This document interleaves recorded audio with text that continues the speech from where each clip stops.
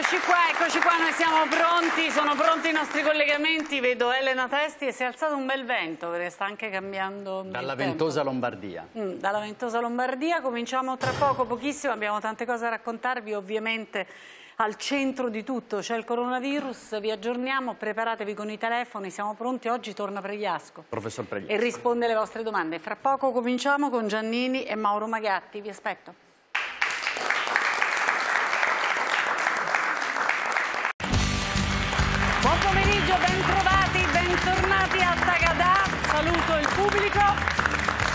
Saluto Alessio Orsinger. Buon pomeriggio. Allora, cominciamo subito, cominciamo subito con i nostri collegamenti. Luca Sappino, Protezione Civile a Roma. Sì, Tiziana, siamo nella sala stampa della sede operativa della Protezione Civile, il cuore dei tavoli operativi sul coronavirus. In questo momento al piano sopra di noi c'è Giuseppe Conte che è in riunione con eh, il capo della Protezione Civile Borrelli e si stanno aggiornando sui dati e sulle risposte di governo e regioni. A proposito di dati, ricordiamo che è la Protezione Civile che fa due volte al giorno la conta dei nuovi contagi, dei ricoveri ospedalieri, dato che però viene ovviamente poi superato eh, tra una finestra e l'altra aggiornamento ufficiale dagli aggiornamenti dei singoli ospedali, delle singole regioni, però insomma il dato ufficiale che ha dato poco fa eh, Borrelli qua in Protezione Civile ci parla di 374 eh, contagiati, la maggioranza eh, dei quali eh, assistita in isolamento domiciliare, è un dato che colpisce sempre, sono 209 le persone assistite eh, nel proprio domicilio, 116 quelli ricoverati con sintomi e 36 quelli invece in terapia intensiva. Si sono poi, dopo le parole di Borrelli, aggiunti due nuovi casi in realtà in Toscana. Oggi l'accento nelle comunicazioni della Protezione Civile è stato dato soprattutto sul eh, reperimento del, dei dispositivi di sicurezza, delle mascherine, dei guanti, perché eh, il governo, di cui la Protezione Civile diciamo, è eh, organo di Palazzo Chigi, ha istituito una centrale degli acquisti che da stasera eh, provvederà a rifornire le eh, singole regioni di mascherine. Questo per evitare un un accaparramento indiscriminato che si sarebbe potuto eh, diciamo, innescare mettendo le regioni eh, in concorrenza tra loro. Ma insomma è arrivato qui Giuseppe Conte che ha parlato, ha parlato peraltro ai microfoni di La Sette, è intervenuto sulla polemica con la regione eh, Marche che come sapete ha deciso di chiudere le scuole nonostante eh, l'indicazione del governo fosse un'altra e Conte ha definito questa scelta una scelta pericolosa perché crea confusione. Ha invece voluto spegnere la polemica con il pronto soccorso di eh, Codogno. Conte ha detto che la sua eh, frase non voleva essere polemica ed è stata estrapolata dal contesto. E poi i rapporti con gli altri paesi europei. Ha parlato di, di discriminazioni inaccettabili, quelle eh, fatte ai nostri connazionali tenuti diciamo, fuori mm. eh, dalle frontiere o comunque eh, oggetto di discriminazioni e ha detto che lo sorprende perché il clima invece del, della riunione che c'è stata ieri sera tra eh, il Ministro Speranza e i suoi omologhi eh, europei era stata di toni eh, cordiali. Questo è quanto per adesso da qua. Tra breve dovrebbe scendere, finita la riunione di aggiornamento con Borrelli, eh, il Presidente Conte per rilasciare ulteriori dichiarazioni. Va bene, ovviamente tu ci chiedi la linea, tra l'altro anche i numeri europei mentre andiamo in onda stanno cambiando, ne parleremo nel corso della puntata e eh, voglio andare però in Lombardia perché in Lombardia come sapete c'è il numero maggiore per quanto riguarda l'Italia dei contagiati. Eh, apritemi il collegamento con Elena Testi. Elena. Tiziana, siamo qui a Casal Pusterlengo, mi scuso se alzerò un po' la voce, però qua si è alzato un vento fortissimo e quindi per farmi sentire lo devo sovrastare. Qui siamo al checkpoint numero 9, come lo chiamano, è arrivato l'esercito, come ti dicevo, perché questa è una delle vie secondarie e quindi hanno deciso di bloccarla perché alcune persone della zona rossa fuoriuscivano, quindi sono stati aumentati i controlli. È molto strano perché come vedrai qua intorno a me, Edoardo, chiedo di inquadrare inquadrarlo ci sono solo campi. E invece a, quasi a confine le case. Noi abbiamo parlato con alcuni abitanti urlando, si sono affacciati alle finestre, abbiamo chiesto gli umori, quello che succede all'interno della zona rossa, ci hanno detto che la situazione è effettivamente tranquilla, ci sono alcune file supermercati come sapevamo, come abbiamo raccontato anche nei giorni scorsi e che l'attività che svolgono maggiormente è quella di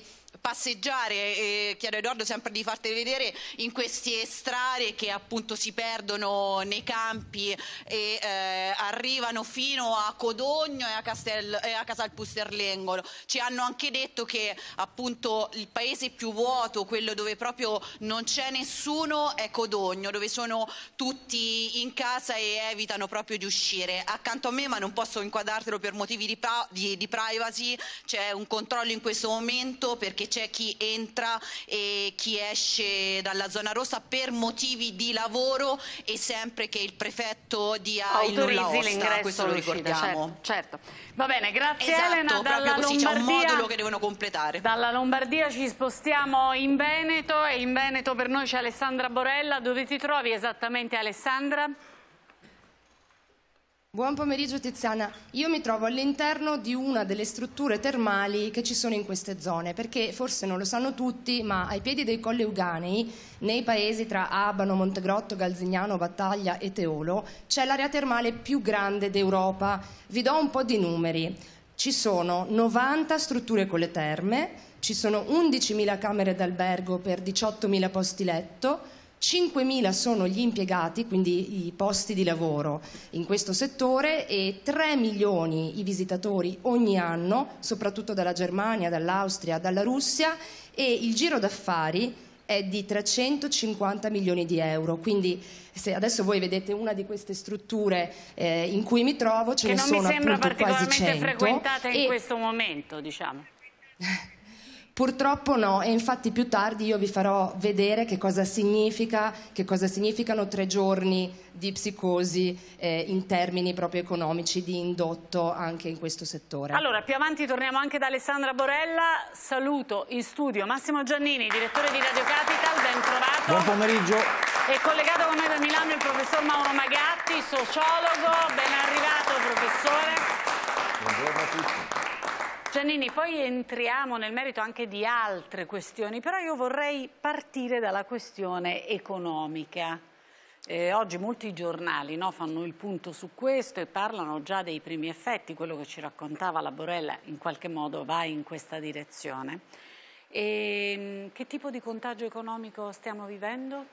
E quali saranno i danni di questo contagio? Finalmente il governo sta toccando con mano che cosa resterà alla fine di questa epidemia, quando il virus finalmente sarà debellato e speriamo nel più breve tempo possibile e con il minor sacrificio possibile di vite umane. Resteranno macerie economiche, sono macerie globali innanzitutto, perché non dobbiamo dimenticare che tutto parte dalla Cina, la Cina è la fabbrica del mondo, contribuisce per il 17% al PIL globale e in Cina la crisi è acutissima loro cresceranno, prevedevano di crescere del 6% quest'anno, cresceranno se va bene del 5%, per loro un punto di PIL è un dramma, crescessimo noi del 6% saremmo nel paradiso terrestre, però per loro invece è un dramma. L'auto, eh, una delle industrie chiave anche in Cina, ha già perso il 92%. Foxconn, che è il principale fornitore di componenti per l'iPhone Apple, dà il 7% della componentistica Apple, è già chiusa e senza quel 7% non è che c'è un altro fornitore, semplicemente non ci sono gli smartphone. Tutto questo avrà effetti sull'economia globale, il Fondo Monetario li sta stimando, avrà effetti ancora più forti sull'Italia, dove purtroppo la situazione congiunturale era già drammatica, noi avevamo avuto un dicembre eh nero sia per la produzione industriale sia per il prodotto interno lordo, crescita meno 0,3%, purtroppo in queste ore stiamo contando eh, gli effetti del coronavirus che impattano nell'immediato nel turismo, l'abbiamo sentito dal vostro collegamento, già ora secondo le stime del, del settore, sia Federalberghi sia agenzie di viaggio siamo a meno 40%, stiamo parlando di un settore che vale 40 miliardi di PIL. A questo possiamo aggiungere l'alta moda, la settimana della moda a Milano praticamente è andata deserta, Il non salone c'è del stata. mobile è rimandato. Il insomma. salone del mobile è rimandato, anche qui parliamo di un settore che vale 90 miliardi di euro. Se pensiamo all'auto, come effetto della crisi cinese, eh, l'automotive italiano è uno dei- degli asset industriali più forti che abbiamo e anche lì Quindi il discrimine è anche quanto dura questo allarme, quanto Guarda, durano le eh, misure. Quanto durano le misure? Qui ci aiuta per qualche aspetto l'esperienza. Eh, sulla base dei dati dell'Ocse, la SARS nel 2003 eh, ebbe un impatto intorno ai 40, 40 miliardi di dollari sull'economia complessiva. Il virus H1N1, sei anni dopo, nel 2009, impattò per 55 miliardi. E, quindi oggi sulla base di quelle stime noi possiamo immaginare un impatto ancora più alto. La durata sarà sicuramente prolungata. Questa mattina ai nostri microfoni c'era la Presidente di Confesercenti, tutte le piccole e gran- eh, imprese del settore commerciale, loro già stimano che nei prossimi due trimestri, quindi stiamo parlando nei prossimi sei mesi, potrebbero chiudere 15.000 aziende e potrebbero restare in mezzo alla strada 60.000 persone e parliamo soltanto del piccolo E commercio. poi voglio sapere quanto di questo ha contezza il governo e quali quante misure sta mettendo in campo. Però ci arriviamo. Giannini, Alessio, intanto i social.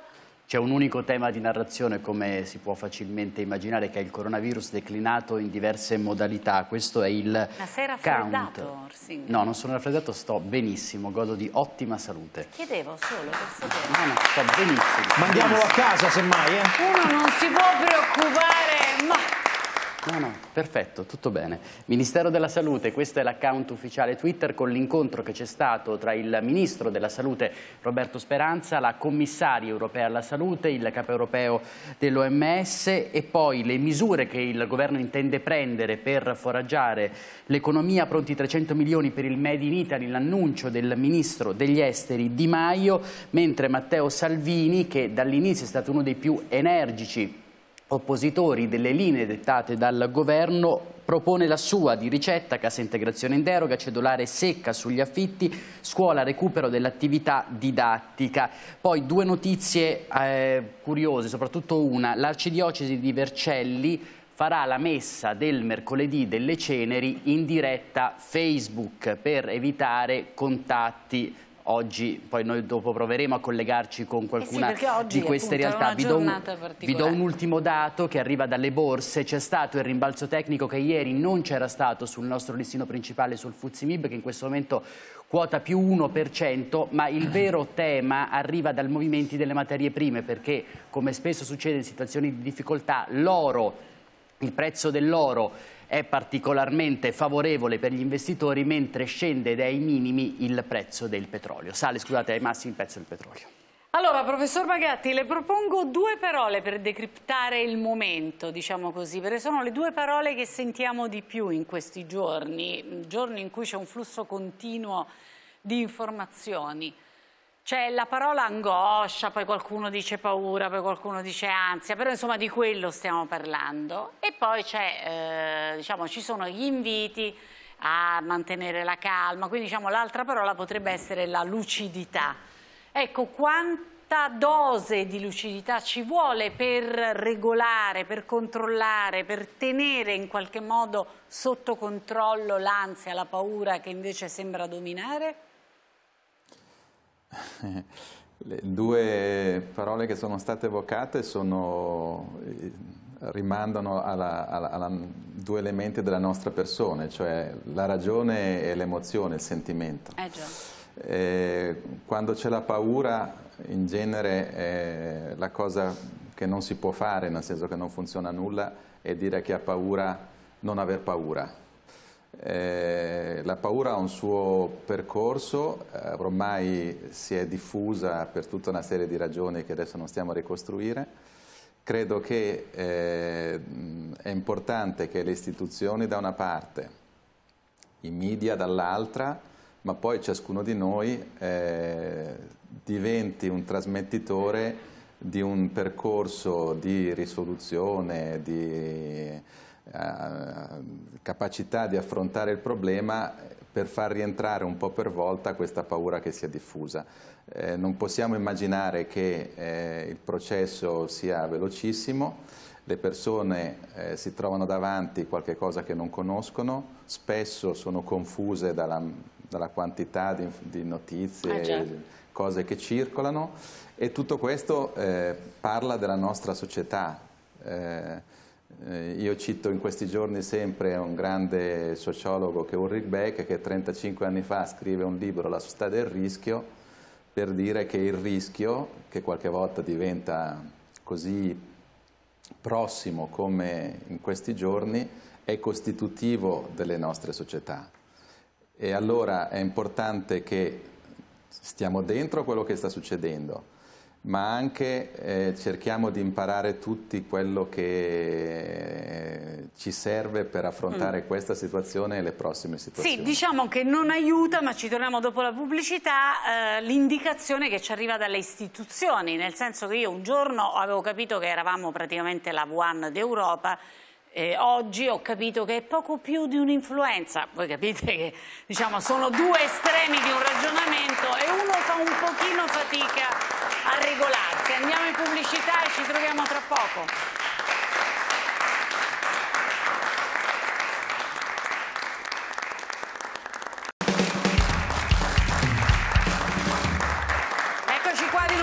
Sono con noi Massimo Giannini e il professor Magatti. Mi aprite intanto il segnale dalla Camera, giusto Alessio? È sì, lì che si parlando, sta dibattendo. Sì, l'onorevole Bond di Forza Italia si sta discutendo del decreto emergenza. Bond? Bond, Dario Giannini. però. James, James, Dario... non sapevamo. Non lo sapevamo. Non sapevamo. No, io ho guardato Giannini perché ho detto magari a me mi è sfuggito e invece Giannini che le sa tutte non lo sapeva neanche Giannini. No, È parente del più noto Eh, ci abbiamo un onorevole Bond, è bellissimo, di Forza Italia. di Forza Italia, l'intervento sulla discussione per il decreto emergenza coronavirus, il primo, quello con norme di telelavoro, quarantena, quindi il primo decreto, voto di fiducia previsto intorno alle 18.30 Si circa. prevede l'unanimità, giusto Giannini? Insomma, dovrebbe Almeno passare, almeno su questo, dovrebbe Almeno passare con i voti di tutti, maggioranza, opposizione. Scusate, me la fate sentire la voce di Bond? Perdonate la mia debolezza, però... avvenuti in Italia, accaduti in Italia, ce ne sono diversi. Guardo sempre il sottosegretario perché lo riguarda. Vabbè, si tratta non solo è colpa di- solo Non è Daniel Craig, Eh, non, è. non c'è, a, a- a no. orecchio non mi sembra niente. Daniel Craig. È andata così. Allora, Giannini, io non voglio entrare nella polemica politica perché francamente la trovo proprio fastidiosa. In questi giorni sarà che ci chiamano tante di quelle persone da casa per avere informazioni, perché sono preoccupate, che veramente è diventato difficile anche per noi concentrarci su altro no? e capire le, le ragioni delle polemiche tra le regioni e Conte e le varie parti politiche. Però la domanda che le faccio è se dal suo punto di vista ci sono state delle leggerezze e se sì quali, degli errori e se sì quali e quanto la vicenda del coronavirus, dunque un'emergenza sanitaria, stia mettendo in evidenza un sistema che, ricordiamolo, è delegato alle regioni per quello che ci riguarda, no? la sanità è materia delle regioni e quindi quanto poi il coronavirus abbia messo in evidenza lo scollamento tra le regioni, la difficoltà di avere tutti il medesimo comportamento. Ma lei prima della pubblicità ha sintetizzato nel modo più efficace i due opposti che abbiamo visto in campo in questi ultimi dieci giorni. no? Noi siamo passati eh, appunto nel breve giro di pochi giorni da Alessandro Manzoni, La peste Eh. a Milano, La colonna infame, a Mark Twain, no? e cioè il vecchio detto la notizia della mia morte è decisamente esagerata. Lo dico con tutto il rispetto per le persone che si sono ammalate e anche per quelle che hanno perso la vita, però per dire come in presenza di una comunicazione e anche un'azione del meccanismo istituzionale nel suo complesso. Da un lato il governo, il capo del governo, le sue strutture, la protezione civile, dall'altro lato i poteri locali, le regioni, i comuni, si sia creato un sostanziale disordine istituzionale che aveva però come sfondo iniziale l'allarme, la paura, la necessità di fronteggiarla anche con misure estreme, con misure nelle quali c'era una sorta di rincorsa a chi era più bravo a fronteggiare l'emergenza, a chi lo faceva con più energia. Questo naturalmente ha ingenerato una fortissima preoccupazione. Noi non possiamo prendercela con gli italiani se poi succedono scene come quelle che raccontiamo in questi giorni e ancora in queste ore, i supermercati vuoti, eh, l'assalto agli ambulatori e tutto quello che stiamo vedendo, perché la paura è stata seminata a piene mani.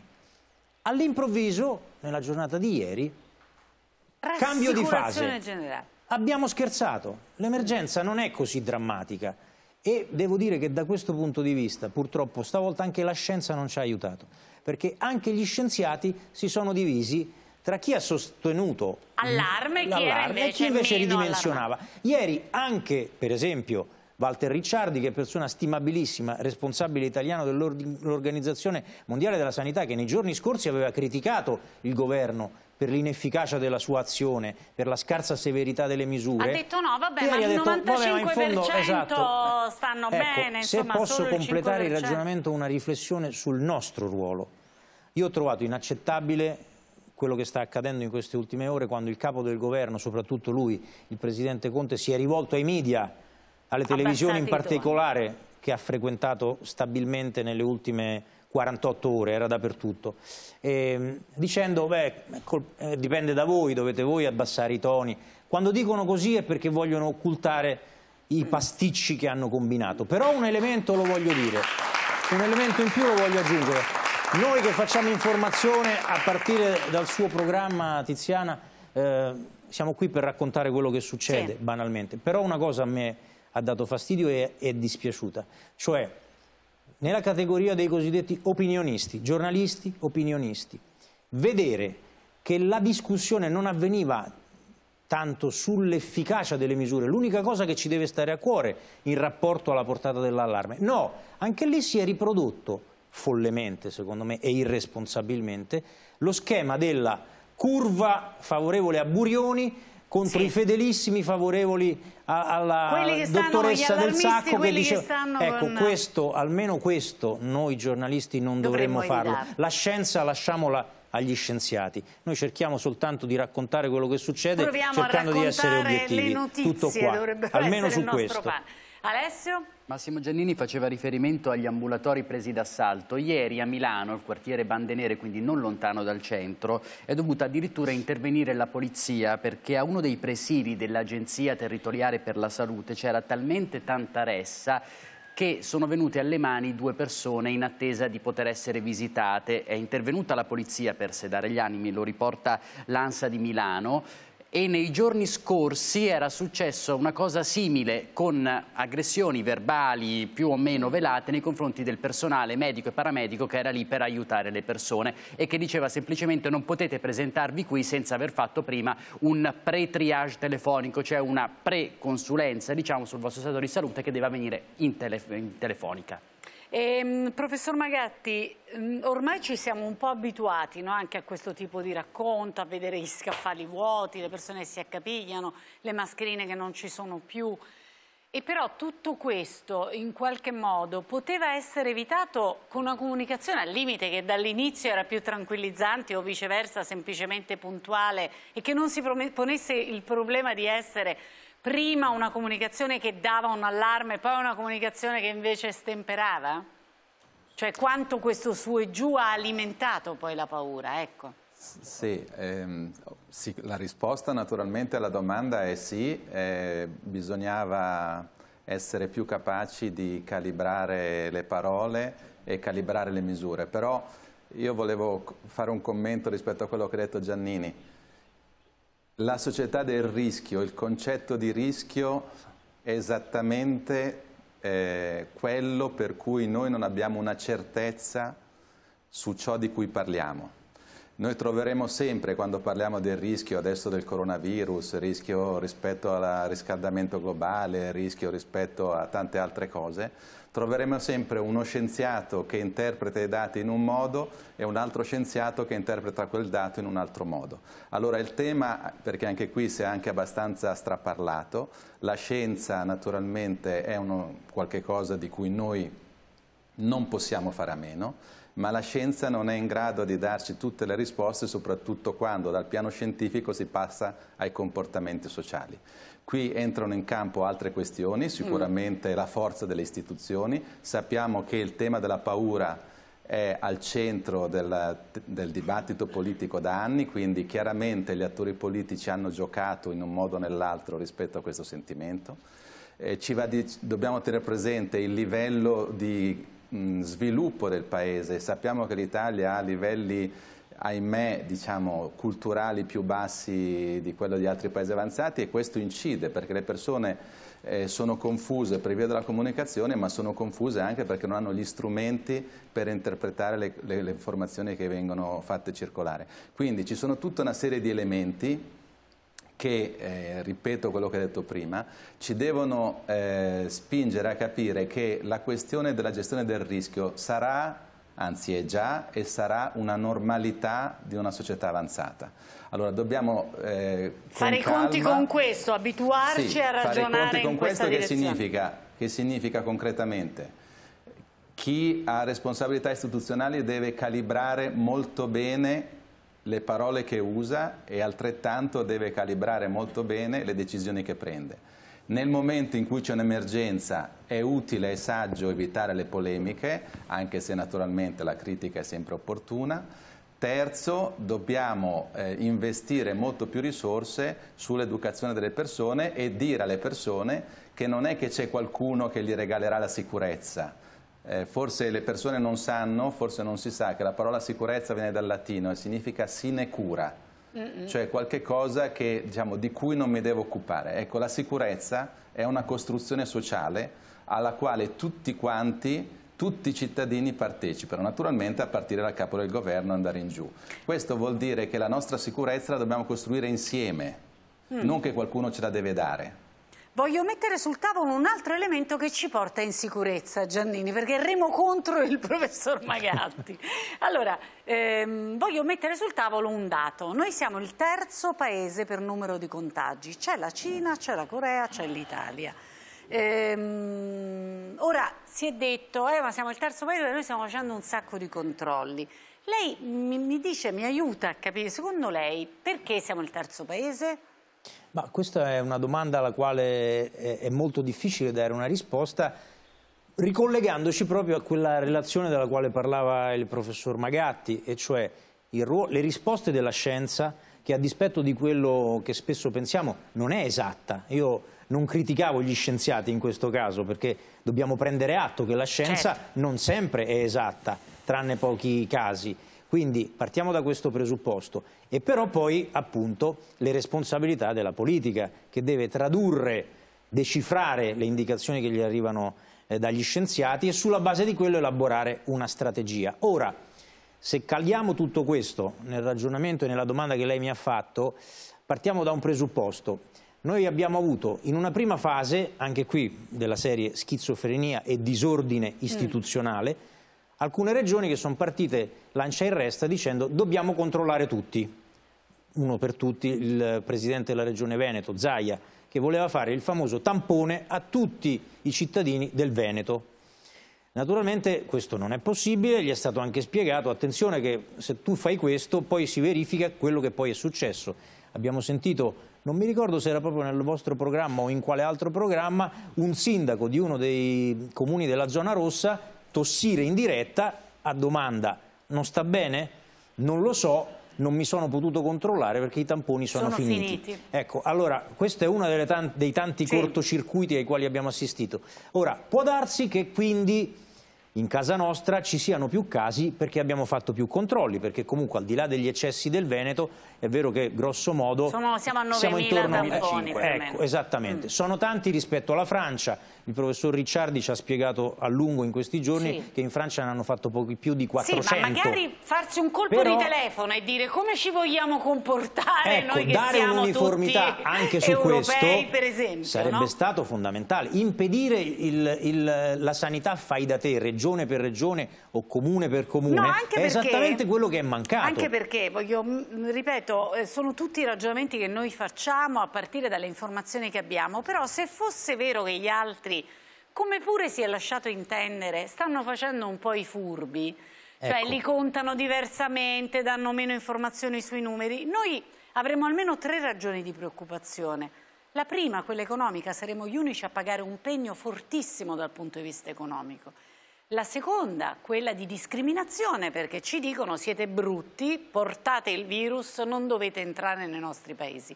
La terza, non meno grave, siccome abbiamo capito che il contagio si trasmette anche da persone asintomatiche, se gli altri possono entrare, noi restiamo a casa nostra, ma entrano tutti e ci portano liberamente il contagio. Cioè non è una follia tutto ciò? Lo è assolutamente ed è una delle ragioni per le quali appunto le persone, l'opinione pubblica poi è disorientata e quindi ha paura, perché non capisce tu- tutte queste misure che si contraddicono l'una con l'altra. Aggiungo a proposito dei tamponi, per smentire la tesi, io, io ci credo poco, ripeto, non sono uno scienziato e lo dico con tutta l'umiltà del caso, non credo alla tesi di chi oggi sostiene certo noi abbiamo più casi perché controlliamo di più e perché comunque gli altri paesi ci marciano, Eh. non ci stanno dicendo la verità. Allora questo può essere vero per la Cina e credo e temo che neanche più tanto per la Cina, No, che è una se fosse sostanziale vero per la dittatura. Francia, per la Germania sarebbe Le altre sono democrazie occidentali come la nostra. Faccio fatica a pensare che lì il sistema mediatico, per esempio, non indaghi, non approfondisca e non tiri fuori le notizie che il potere, tutti i poteri, Mm. tendono ad occultare quando sono scomode. Quindi questo a me sembra veramente un alibi, per smentire il quale uso l'ultimo dato, e cioè il numero di controlli fatti invece in Gran Bretagna. In Inghilterra sono stati tantissimi. Loro, tra l'altro, spiega il professor Ricciardi, hanno un meccanismo mh, di tampone molto più preciso di quanto non lo sia il nostro e lì ne hanno fatti quasi 10.000 e i casi sono pochissimi. Quindi, E quindi direi che il qualcosa tema che non dobbiamo è... ancora Ci hanno capire raccontato virus, una balla loro. Dopodiché rimane il problema di un'Europa, perché noi parliamo di disordine istituzionale italiano, non possiamo non parlare di disordine istituzionale anche a livello europeo, Certo. perché poi questa è un'epidemia che ci riguarda tutti allo stesso No, modo. no, ma è proprio e se, e se scatta un meccanismo di mors tua vita mea a livello europeo, mh, non No, ci siamo proprio, è inaccettabile, Ehm, decisamente. professor Magatti, chiudo intanto ricordando il suo ultimo libro che è Non aver paura di cadere. Lei fa una disamina sul valore della libertà, no? Eh, in questo momento diciamo la libertà è limitata a partire però da un principio precauzionale e cioè eh, di, di tutela, di tutela delle comunità. Non so se lei ha sentito stamattina la trasmissione di Giannini, la trasmissione radiofonica, ha chiamato un edicolante che ha raccontato che aveva scelto di mettere in vetrina i giornali con i titoli meno allarmistici per aiutare, ho capito bene, no? Sì. Per aiutare a tirar su l'umore dei clienti. Eh, facciamo un applauso insieme, Magatti, si sente di spendere una parola per l'edicolante. Io l'ho trovato magnifico. Magatti? Beh sì, eh, nat- naturalmente tutti apprezziamo questo edicolante. Eh, diciamo così che ehm, la libertà lo vediamo in questi giorni in cui parliamo di un contagio, no? parliamo di un'epidemia contagiosa, cioè che ci si trasmette da una persona all'altra. Ecco, questo secondo me è un punto di, di riflessione molto interessante. Noi ci siamo immaginati e ci immaginiamo di vivere gli uni indipendentemente dagli altri. Questo non è vero, è una, è una pura rappresentazione ideologica. Noi viviamo solo gli uni in relazione agli altri. Questo si porta dietro tutta una serie di conseguenze, anche quando si fa informazione. L'edicolante che fa una scelta, una scelta intelligente, naturalmente uno può andare all'edicola e comprare il, vuole, il giornale che vuole, ma lui fa una scelta perché sa che ha un ruolo diciamo, in rapporto ai suoi clienti. Ecco, questo è un, è un- è un buon esempio di come la libertà è, mh, è chiamata in causa in questa vicenda del contagio. Eh, dobbiamo stare attenti a non essere dei consumatori della paura, semplicemente guardare questo fatto come qualcosa che non ci riguarda, che riguarda altri, che noi non possiamo fare nulla. No, noi possiamo fare tanto, possiamo diciamo, eh, naturalmente avere comportamenti corretti, informarci in maniera sensata, eh, aiutare a costruire un clima eh, che punta a risolvere i problemi invece che semplicemente a generare panico. Grazie al professor Magatti, grazie a Massimo Giannini, Grazie grazie, davvero per essere stati con noi. Giannini esce ed entra, Roberto Arditti, direttore di formiche.net, Luca Telese, dove sta Luca Telese? Sta arrivando Luca Telese, sempre in ritardo Luca Gadelese, mica come Arditti, puntuale preciso. 12.45. Vedi, vedi le nostre sicurezze? Sono del segno della Vergine, quindi... Precisino, Eh, precisino, essendo- esatto. precisino. Certo. Non ho modo. A Milano, altra persona assai precisa, c'è il professor Fabrizio Pregliasco, il nostro virologo qua. d'elezione. Lo ha già fatto per noi, oggi si presta nuovamente a rispondere alle vostre domande. Eh, Alessio, ricordiamo anche che c'è la possibilità di interagire attraverso i social. L'hashtag è all'esperto chiedo, il numero di telefono invece lo vedete sul nostro crawl sul titolo 0601 90 80 96. Ricapitoliamo per favore i numeri, Alessio. Questi sono i numeri totali, quindi la mappa interattiva della John Hopkins University dei contagi mondiali, 81.191.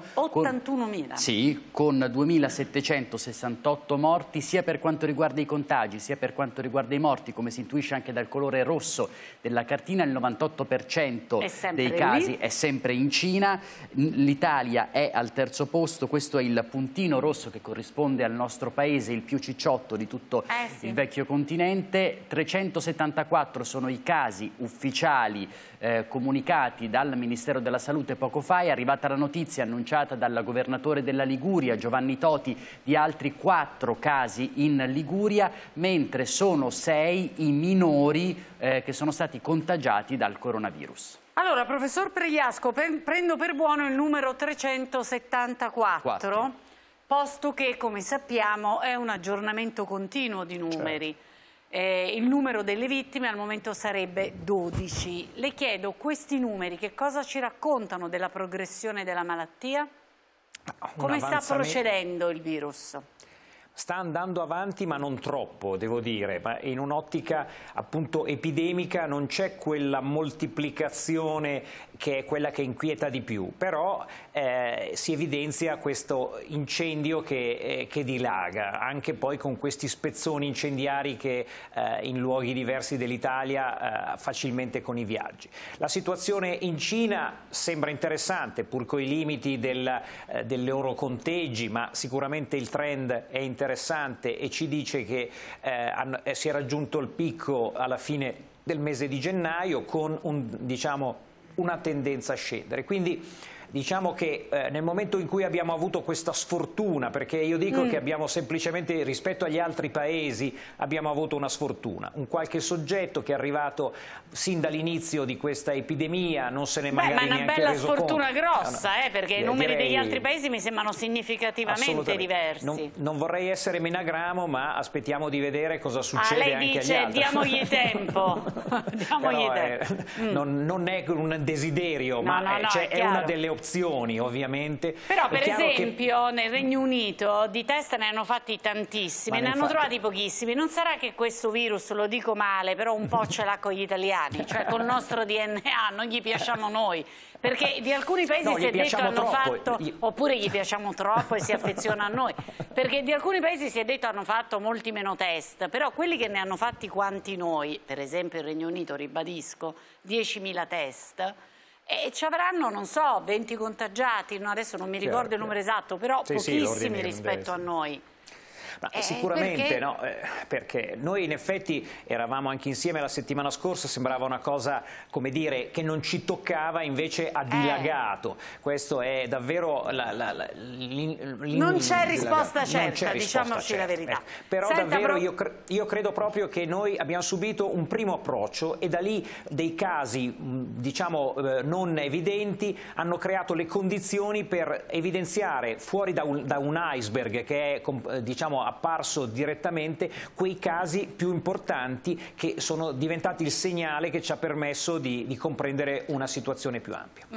Eh, professor Pregliasco, siccome è di oggi la notizia anche di bambini che sono risultati positivi, minori, eh, tra l'altro anche bambini piccoli, 4 anni, 10 anni, poi qualche adolescente, stiamo parlando credo di 7 casi in Sei, questo momento. l'ultimo bollettino dice 6. Bene, e adesso pure lì, diciamo, oggi c'è stata tolta praticamente quella che sembrava essere una certezza, e cioè che i minori mh, risultavano non positivi al coronavirus.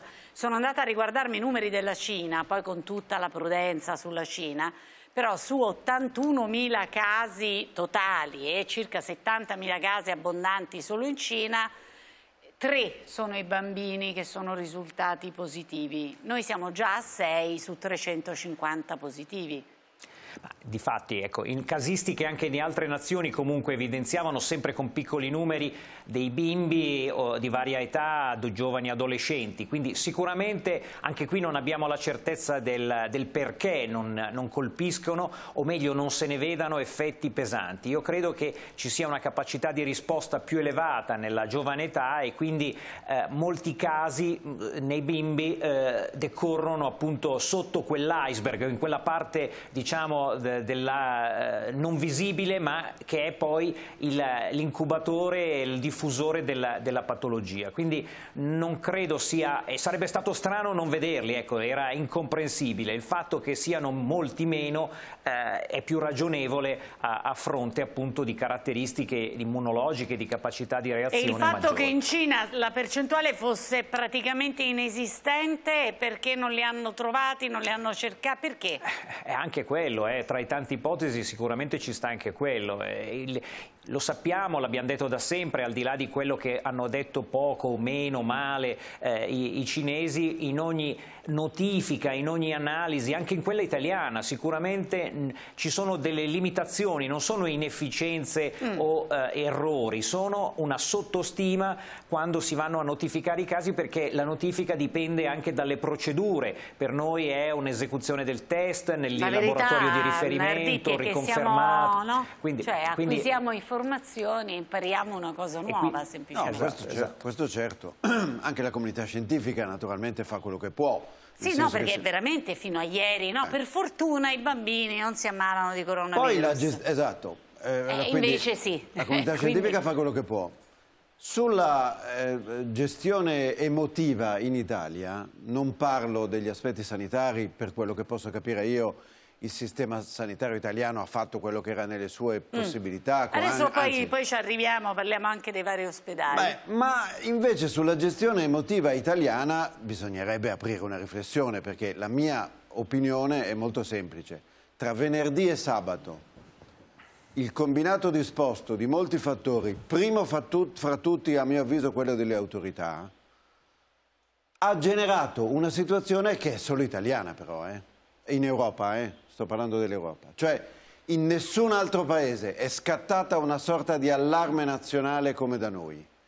Io per esempio mm. ho una forte perplessità sulla decisione Ma questo di... ha un legame con i numeri e col fatto che improvvisamente c'è stato faccio un, esempio di carattere numeri, iconografico. oppure semplicemente no. perché siamo fatti così? Ti faccio un esempio di carattere di immagine.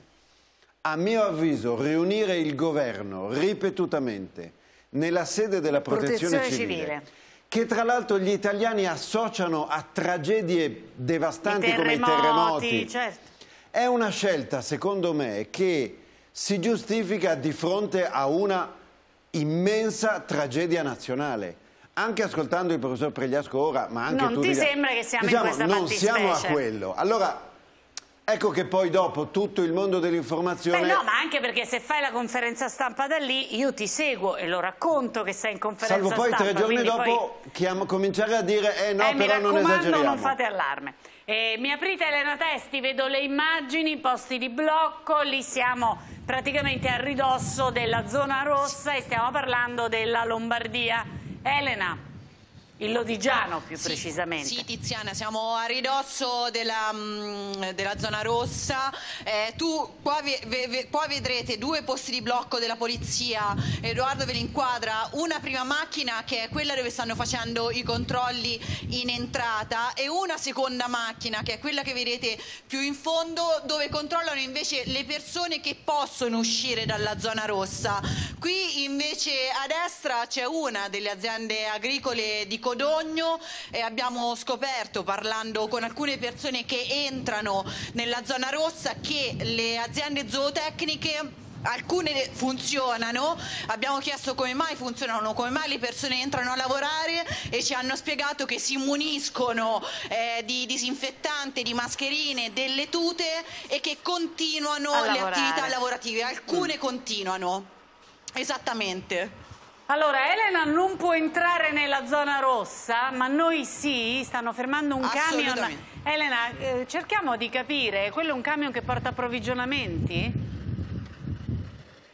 Così Allora, giusto per capire cosa succede, come, come- come va avanti la vita lì.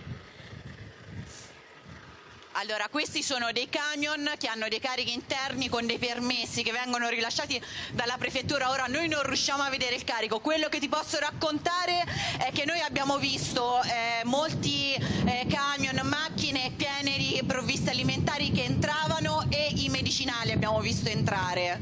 E quindi plausibilmente sarà- staranno trasportando o medicinali o cibo. Elena, sei vestita abbastanza calda, vedo che lo fanno, lo fanno entrare.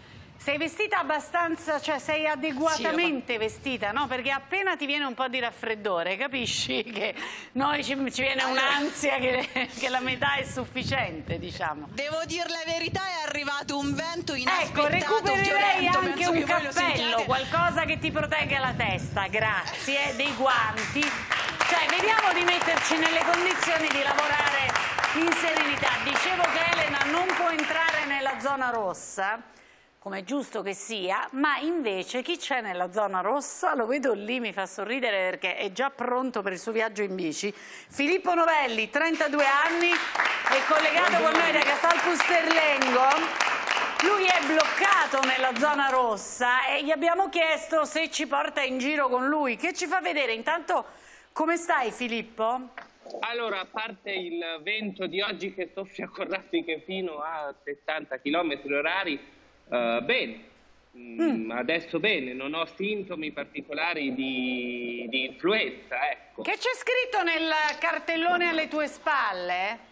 Ecco qui. Coronavirus, la popolazione è invitata in via precauzionale a rimanere nelle proprie abitazioni, cosa alla quale tu stai contravvenendo, ma lasciamo stare. La, la- la- la cosa dopo, adesso poi quando cambia la schermata leggiamo. Vediamo se cambia. Non ancora. Allora, mi dicevi che tu stai Sì. bene, ma com'è Sì. la vita nella zona rossa? Cioè, a parte Guarda. te, quante persone ci sono in Faccio giro? vedere subito. Se riusciamo a girare qui la fotocamera. La situazione qua è abbastanza tranquilla. Come potete vedere, adesso la piazza è quasi Non è del tutto affollatissima, diciamo. deserta, esatto. Eh? Eh, ci si reca a prendere le sigarette al distributore automatico, i bar sono tutti chiusi chiaramente. E, mm, Cosa c'è di esce- aperto? I supermercati. E le farmacie poi- anche, immagino, no? e le farmacie Mm. sono aperte, sì. I supermercati sono aperti, osservano orario normale di apertura, i rifornimenti stanno arrivando, non c'è più il problema, credo, almeno sono passato prima mh, davanti a un supermercato della calca o della resta che forse C'è stata nei primi notizia nei giorni? giorni scorsi. Mm. Esatto. Senti La Filippo, ti situazione- chiedo due cose. La prima, tu Sì. sei libero di muoverti, di uscire come quando credi? Restrizioni particolari non ne ho ricevute. Se non quell'invito che... abbiamo letto insieme, diciamo, che è proprio un tranne invito. quell'invito che abbiamo letto insieme, diciamo ottemperare alle istruzioni che ci sono state date utilizzando buon senso. La Buon gente senso. anche qui anche qui esce, evita il più possibile di fare raggruppamenti, assembramenti, si passeggia in campagna. Ricordiamoci che siamo in una zona con spazi ampi, aperti Certo. anche all'aperto, dove ci si può recare eh, passeggiando. Aspetta solo un attimo Filippo che vedo Sì. dalle tue spalle è cambiato diciamo intanto il, cartellone alle tue spalle dice certificati anagrafici disponibili anche in modalità online, niente più code allo sportello. Certo c'è la preoccupazione del comune evitare tutte quelle che sono Esatto. le code o cose di questo tipo.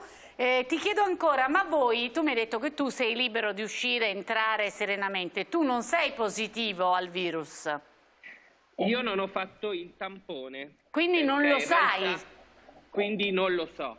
Ma ho chiamato il eh, numero di servizio il 1500 venerdì mattina quando è uscita la notizia che un nostro conterraneo è stato ricoverato e la risposta che mi è stata data è perché vuole fare il tampone se non ha sintomi? A cosa lo fa fare? Ecco, quindi diciamo che siccome tu stai bene non c'è ragione di fare il tampone secondo quello che ti hanno detto, ma le, mh, le persone che invece sono risultate positive, si muovono liberamente come, come, te, tu le conosci, che tipo di precauzioni utilizzate allora, in paese? So che persone che sono risultate positive sono in quarantena. Sono in quarantena, chi è stato, a chi è stato riscontrato è stato chiesto comunque positivo ma asintomatico, quindi senza sintomi, sì. è stata chiesta di fare la quarantena. E quindi di stare chiusi in casa, ma è una quarantena controllata? Cioè c'è qualcuno che controlla o è fiduciaria? Da quanto ne so, per quello che ne posso sapere è fiduciaria, controlli in particolare non so se sono stati eseguiti effettivamente. Mm. Va bene Filippo, magari ci ritroviamo più avanti, se poi fa Perfetto. troppo freddo ce lo dici ovviamente e ti lasciamo in pace, però insomma se tu continui a stare un po' in giro e, e se vuoi ci, eh, ci, colleghiamo anche più avanti nel corso della trasmissione. Intanto grazie. Volentieri. Chiedo ad Arditi, uno dei temi è che le persone, poi in realtà è la ragione anche per cui i varchi sono presidiati, perché qualcuno poi è uscito da questa quarantena, qualcuno ha cercato di eh, andare fuori per le ragioni più disparate, poi quelle sono zone in cui ci sono molte seconde case, qualcuno si è sentito prigioniero e voleva tornare a casa sua. Quindi al di là diciamo, dei, eh, dei, provvedimenti poi c'è la responsabilità delle persone. Scusa solo un attimo eh, Roberto perché nel frattempo vedo Messa. Che succede Dovrebbe Alessio? Essere la Sempre cripta... mercoledì delle ceneri? Sì, alcune messe che vengono fatte eh, virtuali, cioè online, per essere proposte ai fedeli che non cioè, possono questa è una raggiungere. diretta Facebook? Questa è una diretta, eh, sì, uno streaming YouTube, credo sia. Uno streaming YouTube, Con sì. i potenti mezzi di Alessio Schesari che sta lavorando da remoto, siamo riusciti ad accedere Perché ricordiamo, l'applauso a Schesari, applauso in quarantena appunto, cioè Schesari è in quarantena. Quindi lo salutiamo. È la cripta della cattedrale di Lodi. Ah, ecco, e quindi c'è soltanto il prete che fa la funzione ed è da solo. Nel frattempo, vedi, dici la parola prete, compare Luca Telese, facciamolo entrare davanti alla messa. Ciao. Mi arriva Luca Telese. Ho no, saputo che c'era Arditti per gli altri e il top è qua. Il tema della responsabilità, no Arditti? Però gli italiani anche stanno... le, le, responsabilità personali. Sì, mi sembra che si stanno comportando bene gli italiani, onestamente. Mm. Nel complesso, certo, qualche episodio di intolleranza anche verso persone provenienti dai, dalle nazioni dell'est del mondo c'è stato, però nel complesso secondo me gli italiani si stanno comportando bene, non li possiamo accusare di, di, di fare gli responsabili. Eh, sento però, e lo do come contributo alla nostra discussione, da almeno un giorno o due, diciamo tra ieri e oggi, sì. crescere una seconda preoccupazione che io valuterei Il con titolo? forse maggiore rilevanza, non maggiore no rispetto a quella del coronavirus in quanto tale, ed è che sono moltissimi che cominciano a toccare con mano dei danni di carattere economico. Eh certo. E adesso non sono più abbiamo teoria. una lunga pagina su questo, no, ma assolutamente no, Sono lo vedremo anche dai realtà. nostri collegamenti, sono già un fatto Esatto. i danni economici. E Alessio, i numeri utili a cui fare le proprie richieste per avere informazioni, per denunciare di non stare bene, li ricordiamo? Allora, possono scriverci su eh, Facebook. No, a parte i a- nostri, io dico in generale, Ah, quali i numeri, sono ah, i pensavo, numeri ah, i numeri complessivi sono ai i nostri, nostri, esatto. le telefonate. No, ho 1500 capito la centralità di Tagadà, però un po' meno, diciamo. 1500 è il numero al quale possono richiedere informazioni in caso di sintomi gravi o nel caso in cui avessero sospetto, contezza di un possibile contagio, 112 e 118 in più sul sito del Ministero della Salute sono disponibili tutta una serie di numeri verdi regionali e stamattina ne avevamo contati 11 per accedere e avere informazioni. Quindi attraverso il sito del Ministero della Salute avete tutto. informazioni ulteriori e un numero gratuito al quale fare riferimento a seconda della regione in cui abitate. A questo punto apriamo le telefonate perché c'è Pregliasco che risponde alle vostre telefonate. Dovrebbe esserci al telefono Simonetta che chiama da Casal Posterlengo, capito bene? Casal Posterlengo, che è nella zona rossa. Simonetta, prego. Buongiorno Ben trovata. studio innanzitutto, grazie. Una domanda, premetto che sono un'italiana orgogliosa e orgogliosa della sanità italiana, che è piena di eccellenze, quindi questa è una premessa importante. Una domanda, una, qualche mese fa io ho prenotato presso un istituto a Milano un'ecografia e una mammografia mammaria che mi è stata fissata per il 27 di marzo. Il giorno lunedì 24 febbraio mi hanno chiamato e l'hanno annullata. Me l'hanno annullata per, dicendo, asserendo che queste erano disposizioni ministeriali. Io una cosa che mi domando, rifacendomi prima all'intervento del professor Masatti, questo non è un messaggio di paura, è un messaggio di terrore, perché io sto parlando del 27 di marzo mi è stata annullata. Accidenti, Quindi... ma le hanno spiegato perché le è stata annullata? Le è stata annullata in quanto abitante di Castalpur Sterlengo, cioè zona rossa? Esatto. Ah, ecco, esatto. per questa precisa ragione. Sentito, sì. Appena ho sentito il nome, il nome della, dell'istituto, ho detto è perché sono di Casalpur Sterlengo. Esatto, lei è in quarantena. No, né in quarantena normale né in quarantena fiduciaria ma queste sono disposizioni ministeriali. Simonetta, grazie per averci chiamato. Adesso poi chiedo anche a Pregliasco che cosa sì, ne sì. pensa lui, però certo il messaggio non è rassicurante, ha ragione no. la signora Simonetta. Prego Pregliasco.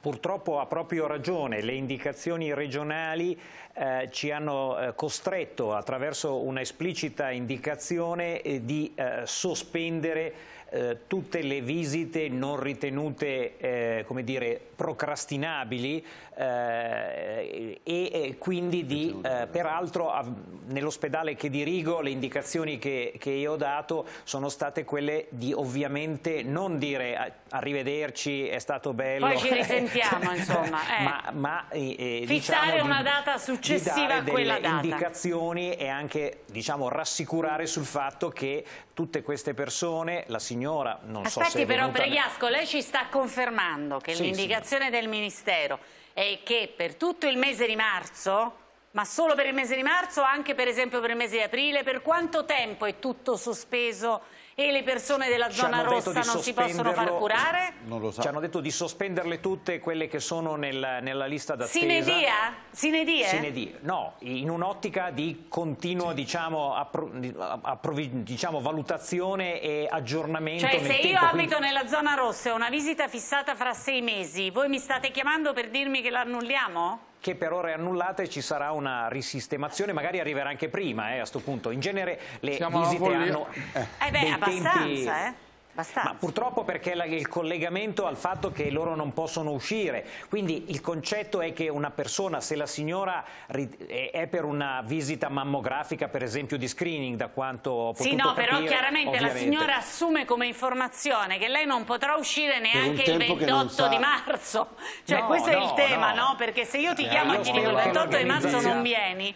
Eh, l'informazione che... che mi stai dando è che io presumo che tu anche il 28 di marzo non possa uscire. No, allora, la speranza è che ovviamente non perda il filo il treno e venga rimessa in, ball, in, in, diciamo in una chilometrica successiva eh, come dire, lista d'attesa e quindi l'organizzazione che ci è stata data non è eh, lasciamoli eh, da soli e non diamogli risposta. L'indicazione completa è per ora questa prenotazione è come dire, annullata ma non che l'ha persa, verrà riprogrammata. No, no, no, ma questo mi è chiaro, ripeto, è il, il tipo di messaggio che che arriva che mette una un certa ansia. Siamo alla follia. Ecco. E...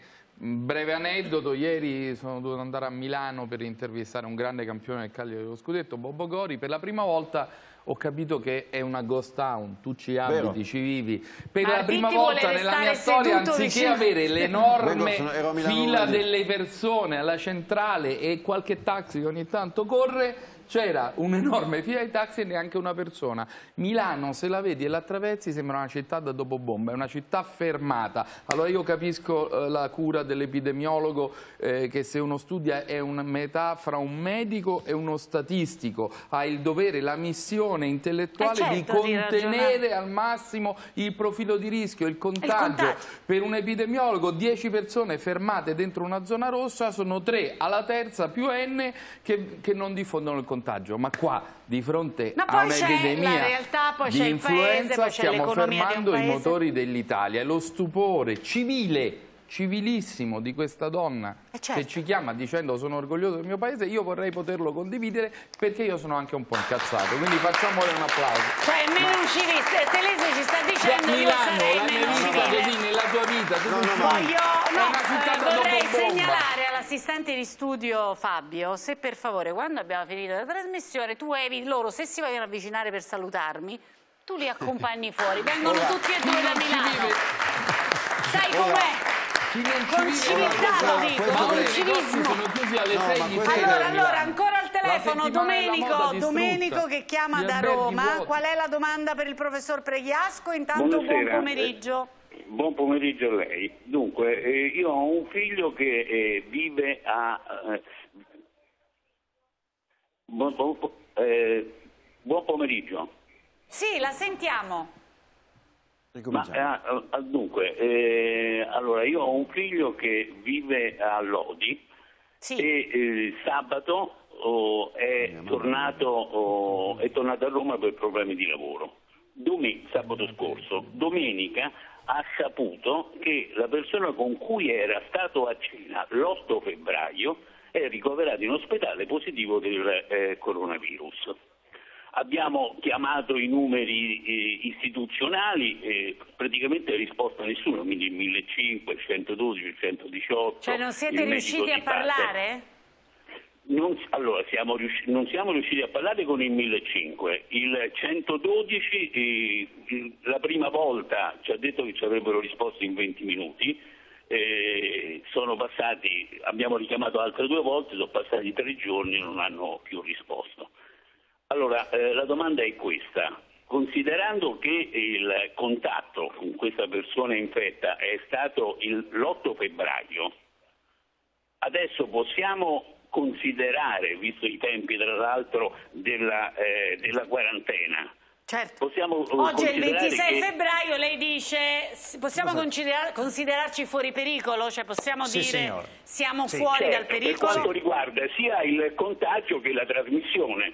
Chiaro? Assolutamente sì. Domenico, grazie. Adesso sentiamo Pregliasco. No, eh, purtroppo nei giorni scorsi io mi occupo anche del servizio di emergenza-urgenza nell'ambito dell'attività di volontariato delle ambulanze e in effetti questa comunicazione iniziale in cui abbiamo detto, chiama, abbiamo detto, è stato detto chiamate il 112 che è il numero di pubblica utilità ha creato davvero un po' dei problemi perché a questo punto il 112 serve anche per eventuali delitti, per eventuali diciamo, problematiche di, di, sì, di non solo di salute ma anche di, eh, di sicurezza sanitaria. Quindi davvero importante ora usare i numeri delle regioni che sono stati eh, proprio creati apposta per avere anche diciamo, gli aspetti operativi eventualmente necessari. Rispetto al, al, al quesito del, del, telespettatore è siete tranquilli e sereni, è superato assolutamente il periodo di incubazione, si è andati oltre e quindi Perché ci si può Perché l'8 febbraio più 14... 26, eh, fino al 26 fa 18. 26, esattamente, quindi se non... Sono passati 18 giorni. 18 giorni. Eh, per Eliasco è un uomo di buonsenso eh. e basta sentirlo 5 minuti perché lo si capisce, ma forse dovremmo applicare in grande al sistema paese questo buonsenso, cioè immaginare che con la stessa velocità con cui si è strizzato ehm, il capo da un capo all'altro lo stivale, adesso bisogna allentare la morsa, se no l'Italia soccombe non per il virus ma per le conseguenze della quarantena. Ancora una telefonata, che poi siamo già fuori tempo massimo, ormai siamo abituati, ancora una telefonata, dovrebbe esserci Arturo da Busto Arsizio, se ho capito bene. Arturo, buon pomeriggio. Buon pomeriggio a voi, sì, sono di Busto Arsizio. Allora, io faccio una domanda di questo genere. Eh, sei anni fa, quasi sette, ormai ho avuto un trapianto eh, prendo degli immunosoppressori, contemporaneamente mi sono state certo. fatte fare delle ehm, hemofilus eh, del meningococco e del pneumococco per eh, diciamo delle, delle, delle, delle, vaccinazioni per, eh, in generale, mi chiedevo come mi devo comportare, nel senso che eh, al di là del fatto che io sono in una zona che non è per niente rossa, addirittura potrei definire quasi giallo-arancione, ma insomma non è una. Posso, posso muovermi tranquillamente, devo, eh, al di là del fatto di lavare le mani e tutte quelle altre cose, utilizzare anche accorgimenti particolari, oppure vivere una vita che spero sia quella di essere una, una vita normale, insomma. Arturo, grazie. Adesso la risposta Prego. del professor Pregliasco. Accortezze particolari, deve assumere direi dei comportamenti in... particolari. Arturo. Busto Arsizio è giusto anche dalle mie parti e direi ad oggi direi quello che si deve fare, si dovrebbe fare sempre e stiamo come dire, rimbal... continuamente ribattendolo sì. dal punto di vista pratico. Sicuramente alla prima occasione magari di una visita di controllo a volte alcuni tipi di, eh, di chemioterapici vanno eventualmente valutati se mantenerli, spostare la, la, posologia, ma in linea di massima non deve essere eh, come dire, modificata la terapia, a volte invece più su problematiche allergiche o eh, di disturbi immunitari, questo sì. Per cui direi al, al, al, mio vicino di casa, insomma, delle mie parti, ad oggi una vita tranquilla, serena, con una stringenza però dal punto di vista degli aspetti dell'igiene, la mascherina ad oggi non serve non nella serve. vita comune. Va esatto, bene. Allora, poi ovviamente passiamo al numero privato di Pregliasco ad Arturo, così Pregliasco è rovinato. Eh, no, no, che, dico, che, voleva no, dire Arditi? dire questo. No, ma scherzo Pre ovviamente, poi Arturo mi è sembrata persona più che dice, discreta. dice cose di grande buonsenso. Sì. Io però vorrei chiedergli, sempre tenendo presente che fare il mestiere del medico o del ricercatore in questi momenti è complicato, ma partendo da quello che secondo me molto opportunamente Luca Telesi diceva prima, eh. e cioè che ci siamo infilati con la complicità di tutti, comunità scientifica compresa, in una follia collettiva. Mm.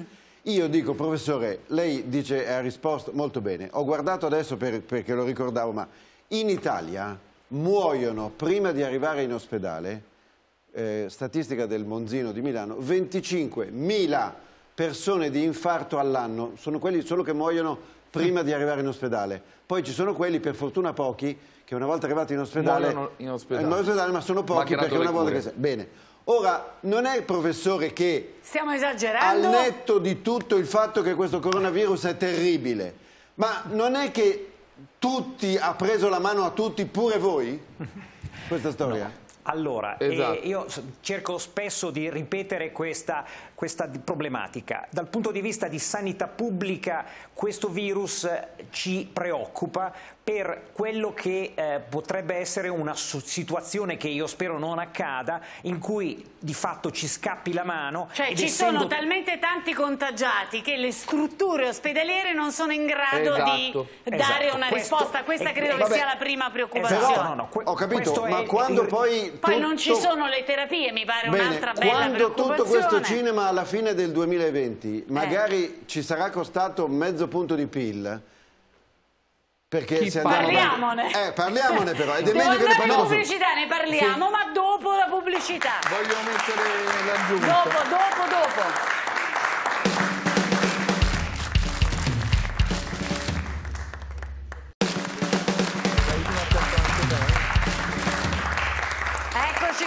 Siamo di nuovo in studio con Telese Arditti che vengono da Milano. Io voglio mettere capire, il carico, sì, noi ci tocchiamo sì, fra sì, di noi, baciamoci! Di voi, esatto. No, voglio mettere il carico. Il ritorno è stato Mi inserito. fai presentare l'ospite ah, e sì, poi metti il carico. Accanto a me saluto Marida Lombardo Pigliole, il suo ultimo libro è L'imperfezione delle madri, un titolo che mi piace moltissimo, mi fa pensare a quell'altro che le mamme non sbagliavano mai, com'era? È il contrario, quello di Bollea. Però non sbagliano mai, ma sono imperfette, e non sbagliano nella serve. loro imperfezione. Serve perché ti spinge a cercare la perfezione, quindi eh. è un talento, è un'energia. No, ma io mi sento molto imperfetta e quindi apprezzo, diciamo. È rimasto con noi Pregliasco, qual era il carico, Telese? No, sì, eh, no. proprio su questo, quando è che si può iniziare a eh, dissequestrare l'Italia. Eh, eh. Ieri il viaggio di ritorno per prenotare il treno erano tutti i vagoni risultavano esauriti. Sono salito sopra, non c'era nessuno. nessuno. Cioè questa è l'immagine dell'Italia spaventata.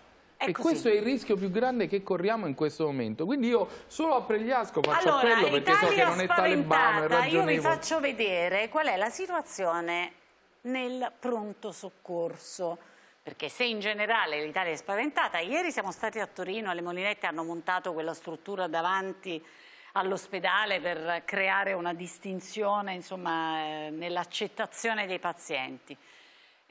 dov'è che siamo andati Alessio? Qui siamo... a Roma? Roma, abbiamo fatto un giro per Roma. Un giro per il pronto soccorso di Roma. Vediamo.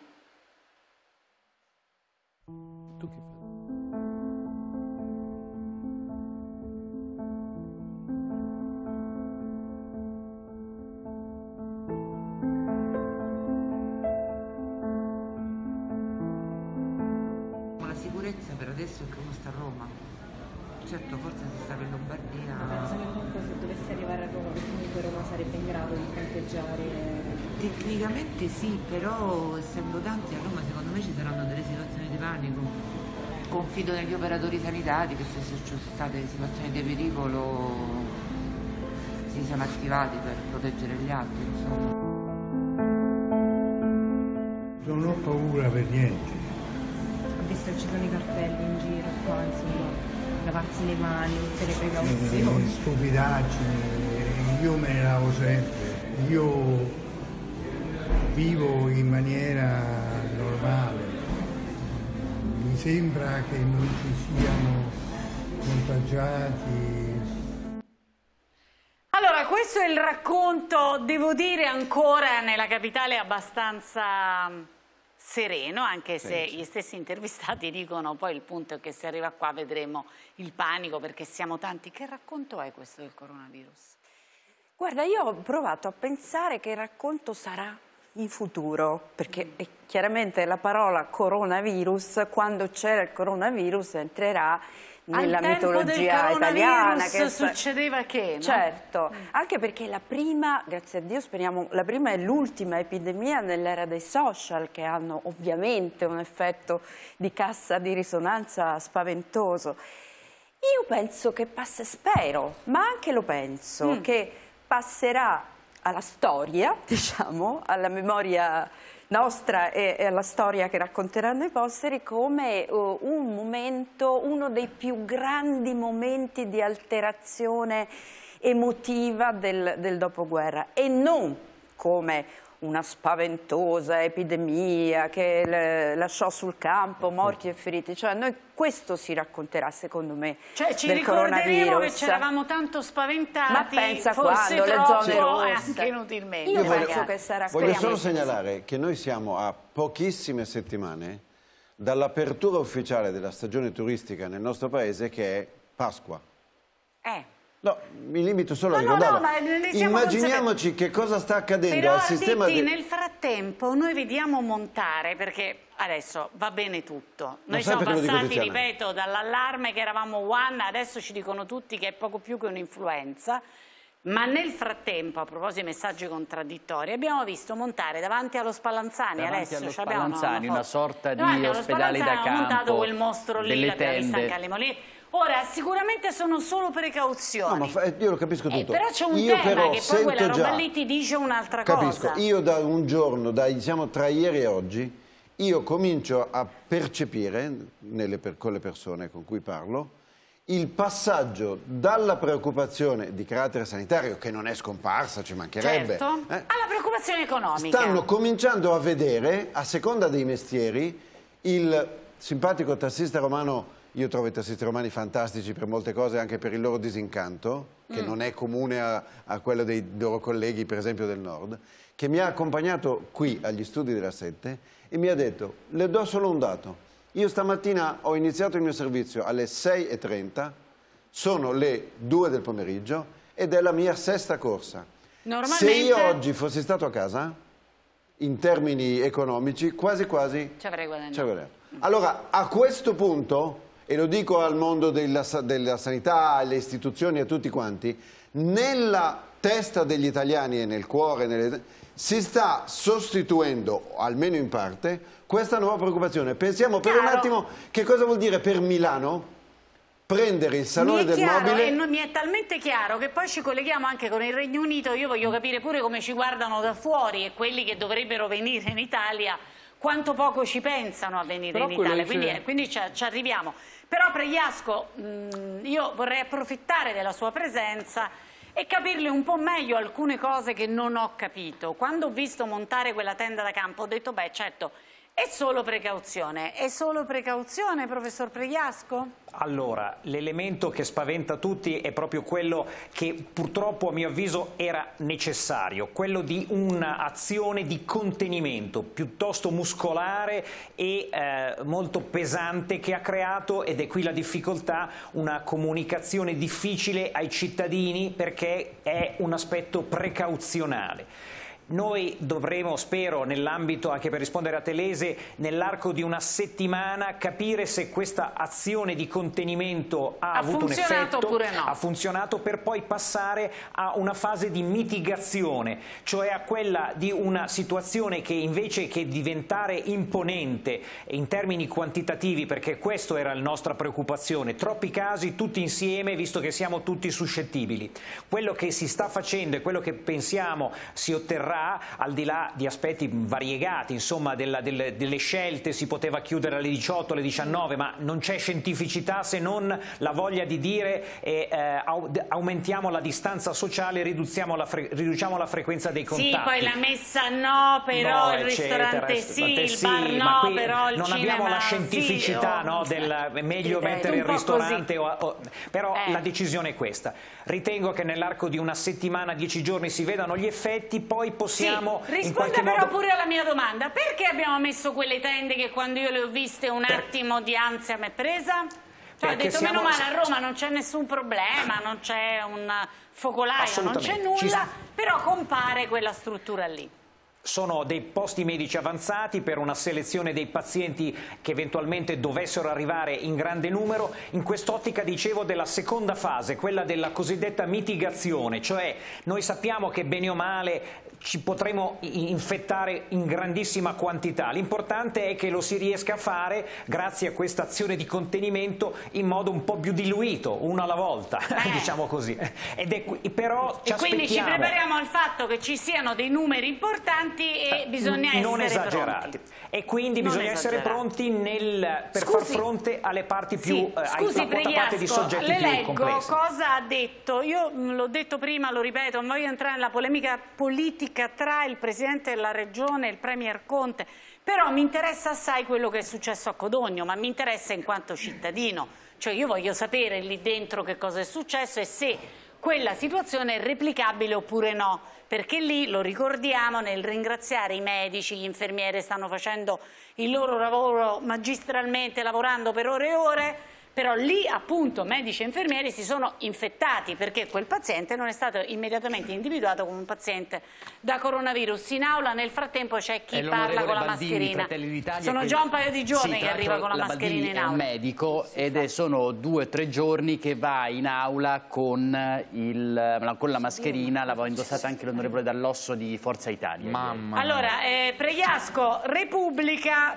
oggi c'è un'intervista, medici eh, che lavorano nell'ospedale di Codogno dicono nessun ospedale d'Italia una settimana fa si sarebbe comportato in modo diverso. Abbiamo applicato pro protocolli e direttive dell'Istituto Superiore di Sanità, l'OMS e il Ministero della Salute. Nessuno di loro avrebbe suggerito un tampone e l'isolamento per un italiano con i sintomi classici dell'influenza, non reduce dalla Cina e che non dichiara contatti con persone provenienti da là.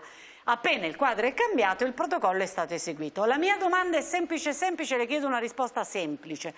Io sono una donna del sud, vengo dal sud, il sud è straordinario, ma ci sono alcuni luoghi, al sud peraltro come al nord, in alcuni paesi e paeselli, in cui gli ospedali sono delle realtà non esattamente all'avanguardia, mettiamola così. Allora, lei mi può escludere che in questo momento arrivi in ospedale un paziente in uno qualunque dei paesi d'Italia e che viene trattato esattamente come il 38enne nel caso di Codogno? O adesso improvvisamente siamo tutti perfetti e reagiamo così no. come dobbiamo reagire? Cioè i, i, colleghi di Codogno avevano la guardia bassa ed era ragionevole che avessero la guardia bassa in quel momento. Ora, in qualsiasi nostro ospedale d'Italia c'è un'attenzione anche a volte fine eccessiva, ma ci sta a questo punto. Il problema è solo garantire, io spero, e questo è un qualcosa che si sta attuando anche in Regione Lombardia Che abbiano per esempio le mascherine, gli occhiali, tutta la strumentazione, no? Cioè lei, può, lei mi garantisce che ce l'hanno tutti? Tutti gli ospedali d'Italia? Si sta facendo in modo che ce l'abbiano. E può darsi che non tutti abbiano una quantità adeguata ma ritengo che in qualsiasi ospedale dei materiali... Al pronto soccorso in tutti gli ospedali d'Italia è diversificato per chi dovesse avere problemi di questo tipo? In questo momento no, ma si sta attivando, sono nelle regioni in cui c'è la problematica più evidente attuato questo, nelle altre si sta organizzando alla luce di una progressione che speriamo non sia troppo rapida. Posso Fatemi vedere, aspetta Luca, apriamo un attimo il collegamento, chi è in collegamento è Elena? Elena, dalla Lombardia. Elena Testi, sempre Lombardia, sempre diciamo siamo al confine con la zona rossa. Ti vorrei far vedere sì, qui siamo in un altro checkpoint. Qui adesso stanno caricando le persone che sono all'interno della zona rossa. Scusate, che cosa state caricando? Per le vacche, quindi per gli animali? Ok, perché non potete fuoriuscire, non potete andare, quindi ve li portano qua. Grazie mille. Quindi Tiziano non so se avete capito, questi sono alimenti per eh, gli animali che si trovano all'interno della zona rossa, vengono portati qui proprio al checkpoint, caricati e poi portati all'interno dove si trovano le aziende che come vi abbiamo detto prima ancora sono chiaramente attive e gli animali giustamente hanno bisogno eh, di certo. essere alimentati. È la mia certo. provincia. Grazie Elena, al telefono chi c'è? Cinzia? Cinzia che chiama da Nola? Sì. Salve, eh, buonasera. Cinzia, mi dia solo un attimo di tempo per spiegare a casa che io vi pregherei di approfittare della presenza del professor Pregliasco, siccome mi dicono che stanno arrivando tante telefonate anche per domande di altro tipo, per esempio rispetto alle direttive del eh, governo, no? come ci si deve comportare, eccetera. Credo che infatti Cinzia ci chiami per questioni legate alla scuola. Sì. Va benissimo, però sì, vi invito sì, ad approfittare della presenza di Pregliasco. Non vale per Cinzia, evidentemente, che abbiamo adesso al telefono, vale per tutti gli altri che stanno chiamando. Prego Cinzia, faccia pure la sua domanda. Grazie. Allora, eh, buonasera a tutti. Eh, la mia domanda è relativa all'ordinanza regionale numero 1 della Campania emanata ieri sulle misure per il Covid-19. Mm. In questa ordinanza si pone l'attenzione su coloro che cito proprio testuale dal documento, negli ultimi 14 giorni abbiano fatto ingresso in Campania dalle aree oggetto di provvedimenti restrittivi da parte delle autorità sanitarie delle regioni di pertinenza, dalle aree della Cina e da altre aree del mondo di conclamato contagio. La mia domanda è relativa a questo. Cosa significa? Queste aree sono riferite solo alle zone rosse, anche alle zone gialle o a tutte le regioni in cui si sono verificati casi, casi di contagio? Certo. Grazie per la domanda, eh, mi pare una domanda grazie. assai sensata nel ricordare che appunto c'è stata una distinzione in zone rosse, zone gialle e zone verdi. Quello che abbiamo capito noi, però aiutatemi Telese e Alarditti, in tre minuti possiamo eh, spiegarlo cita, bene. Cita la Cina, l'ordinanza, però eh, mi pare di capire che è l'unico paese diverso dall'Italia che cita se io arrivo da Singapore mi devo... No, dice anche le altre zone eh, in eh, cui le altre ci zone, fosse. E quali sono quali tutte? Sono? L'Iran, sì o no? Eh no, infatti c'ha ragione, no? ragione, la signora Cinzia che dice forse ci dovrebbero dare chiarimenti, ma anche dall'Italia, dall'Italia 14, se, se, sei tornato da 14 giorni dalla zona rossa, professor sì, Pregliasco, lei ne rossa. sa di più?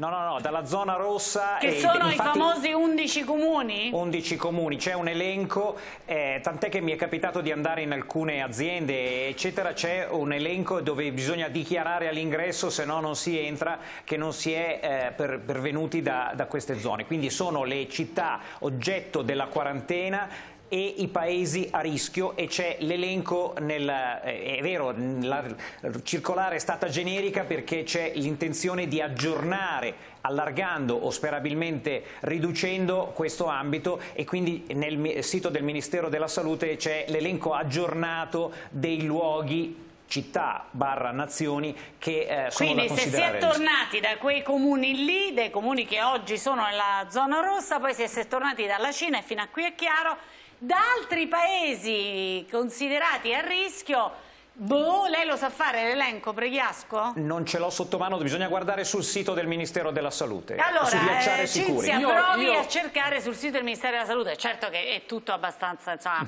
complicatuccio, no? No, sì, e in questo momento abbiamo un'unica risorsa eh, che è il rilancio della competenza.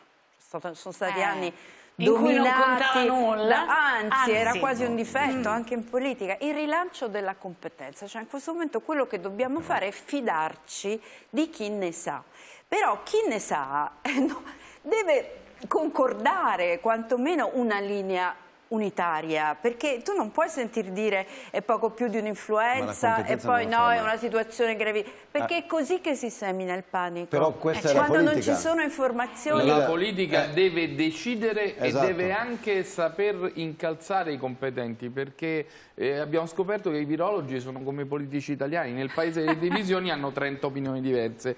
E io faccio per esempio una provocazione, dovremmo sopprimere non so se su questo Pregliasco è d'accordo, ma credo di sì. Dovremmo sopprimere quel contatore luttuoso. Non ci sono 12 morti in Italia e fra 5 minuti saranno 13 di questa epidemia. Ci sono in Francia 100 morti per complicazioni influenzali, circolatorie, per malattie renali, eh, per malattie polmonari e questi morti non sono computati. Magari sono 100 perché statisticamente più o meno siamo lì ed erano 100 anche in Italia prima. Adesso scorporiamo questi 12 perché il tampone Mm. ci ha dato una paternità e questi numeri sono una condanna a morte per l'economia di Ha, questo ha ragione paese. Telese, il governo della competenza, o meglio consegnare alla competenza la patente unica per decidere, è, per quanto paradossale possa apparire, pericolosissimo. No, no, eh. Nel senso che poi a un certo poi ci punto... sono delle oh, scelte che sono politiche. ma non c'è alcun dubbio, ed è l'unica salvezza che abbiamo, perché altrimenti... No, se- io, e io tra l'altro ho un,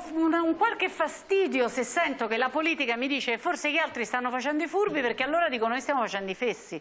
diciamo, mi viene questo Così è dubbio. brutta, mi Eh, piace quando eh, sei eh, cattivista. È, è- è così però, scusate. Certo Eh, che è Alessio, così. Alessio, abbiamo un tassativo, devi Farei essere vedere il velocissimo. Cartello 6 alla signora che ci ha chiamato prima, parlava di scuole. Sì. Ne- Nelle zone verdi si parla nella bozza che circola nel secondo decreto emergenze coronavirus, adozione di misure di cautela è il primo punto e poi c'è il divieto di chiusura delle scuole e di qualsiasi intervento che possa bloccare l'attività economica. per le marche.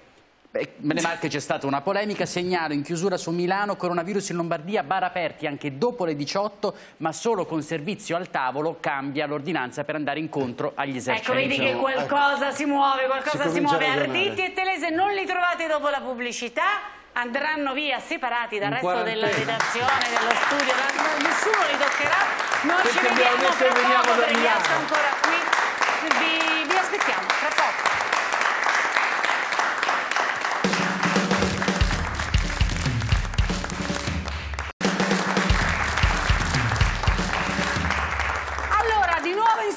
Studio, Marida Lombardo Pigliola si è guadagnata il divano. Nel frattempo ci ha raggiunto Don Pietro Sicurani, il cuore della Basilica di Santo Eustachio a Roma. Don Pietro me la dice subito, subito una cosa, ma i suoi poveri, quelli che lei segue tutti i giorni, mh, ne parlano del coronavirus? No, non ne parlano, non hanno paura, non usano mascherine.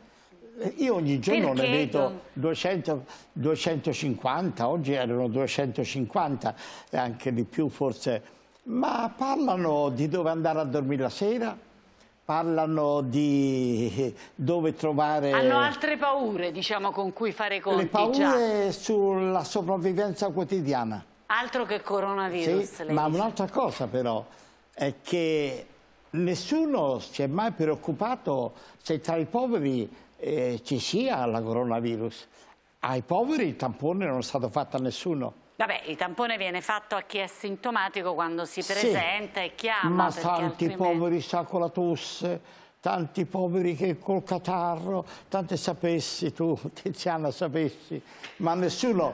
mm, Dice che non se ne preoccupano meno, ce ne preoccupiamo cosa, meno. Ti dico una cosa, che alcuni medici che vengono a curarli Mm. mm, hanno detto per 15 giorni non veniamo finché non passa la paura. Questa è una brutta cosa. Jacopo Tondelli, ben trovato, bentornato a Tagadà. È rimasto con noi il professor Pregliasco, lo dico per tutti quelli che stanno chiamando, ve lo prometto, passeremo ancora delle telefonate. Mi aprite il collegamento con Alessandra Borella, che si trova sempre ad Abano Terme. Alessandra, eccoci. Sì, Tiziana, mi scappa, mi scappa l'ospite perché lo sto facendo congelare. Vieni qua. Umberto Carraro, lui è presidente del Consorzio Terme Colli e ci spiegherà un po', potete vedere la piscina alle nostre spalle, dovreste poter vedere la piscina, il destino eh, di queste piscine che lo ricordiamo sono ipertermali, le uniche al mondo, vuol dire che l'acqua esce naturalmente a 87 gradi, quindi sono caldissime e le raffreddano a 37 gradi, sono piscine famose in tutto il mondo che in questo periodo soffrono perché quante cancellazioni ci sono state Umberto?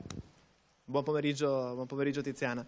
Tante, sono state tante cancellazioni, eh, le stimiamo in circa il 40% per il mese di marzo e per il mese di aprile, ma si sono spinte anche verso maggio e giugno. Quindi sicuramente la situazione è grave e, ed importante. E Umberto, ci fai eh, capire i numeri? Danni... Cioè voi in condizioni normali a marzo quante persone avete in hotel?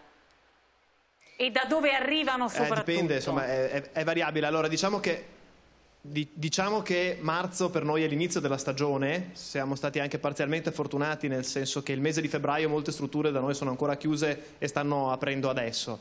Eh, di, da un punto di vista di fatturato, il fatturato stimato perso è tra i 10 e i 20 milioni di euro circa sulla destinazione. La nostra, la nostra destinazione raccoglie 3 milioni e 200, 3 milioni e 300 mila presenze durante un anno eh, quindi divise più o meno equamente su base mensile. Potete... Da dove vengono i vostri ospiti? Gli ospiti vengono per il 50% più o meno dal, dall'Italia, un 30-35% di lingua tedesca e il resto equamente suddiviso tra francesi e di lingua russa. E hanno paura? Perché hanno paura? Ma eh, la paura è un sentimento irrazionale molto spesso, uh, in realtà non ci sono motivi oggettivi Umberto, per, ma quando chiamano per, per, per disdire, cos'è che dicono? Cioè chiamano e dicono non veniamo perché abbiamo avuto un problema o ve lo non dicono in maniera chiara? Non veniamo, non veniamo perché non ce la sentiamo, perché, perché abbiamo questo, paura questo del, clamore, del, del coronavirus. Paura. Esatto, eh, evidentemente Abano, Montegrotto e le Terme Ogane sono fuori dall'area rossa, eh, ad oggi non hanno avuto casi, eh, non ci sono motivi per temere, anzi eh, di più io aggiungo che siamo degli stabilimenti sanitari accreditati col sistema sanitario nazionale, ogni, ogni struttura ha al suo interno un direttore sanitario, dei medici visitatori, applichiamo delle normative strettissime sul controllo della nostra acqua, delle nostre piscine. dell'altro contagio che non è da coronavirus ma è da paura e quindi è il contagio economico no? che arriva in funzione della paura. Anche in uscita, eh... Tiziana, se mi permetti sì, di dirlo. Certo. Cioè, io so per certo di aziende multinazionali eh, che hanno bloccato i loro dipendenti italiani che, che, stavano per partire in missione di lavoro, più di una. Certo. A queste persone è stato detto non Meglio abbiamo che piacere che voi... sta, sta, Quindi bloccati anche in uscita. Umberto, eh, in bocca al lupo, io spero che la situazione si vada a normalizzare Crepi. nelle prossime settimane e che quindi ci sia poi un'inversione di tendenza, Grazie. lo spero davvero, lo spero per voi ovviamente e lo spero per il sistema paese perché insomma poi stiamo parlando certo. di tanti soldi, quindi vale poi per tutti noi. No? Eh, Alessio che succede? Vale Dimmi come vale stiamo raccontando, come da fuori stanno raccontando l'Italia.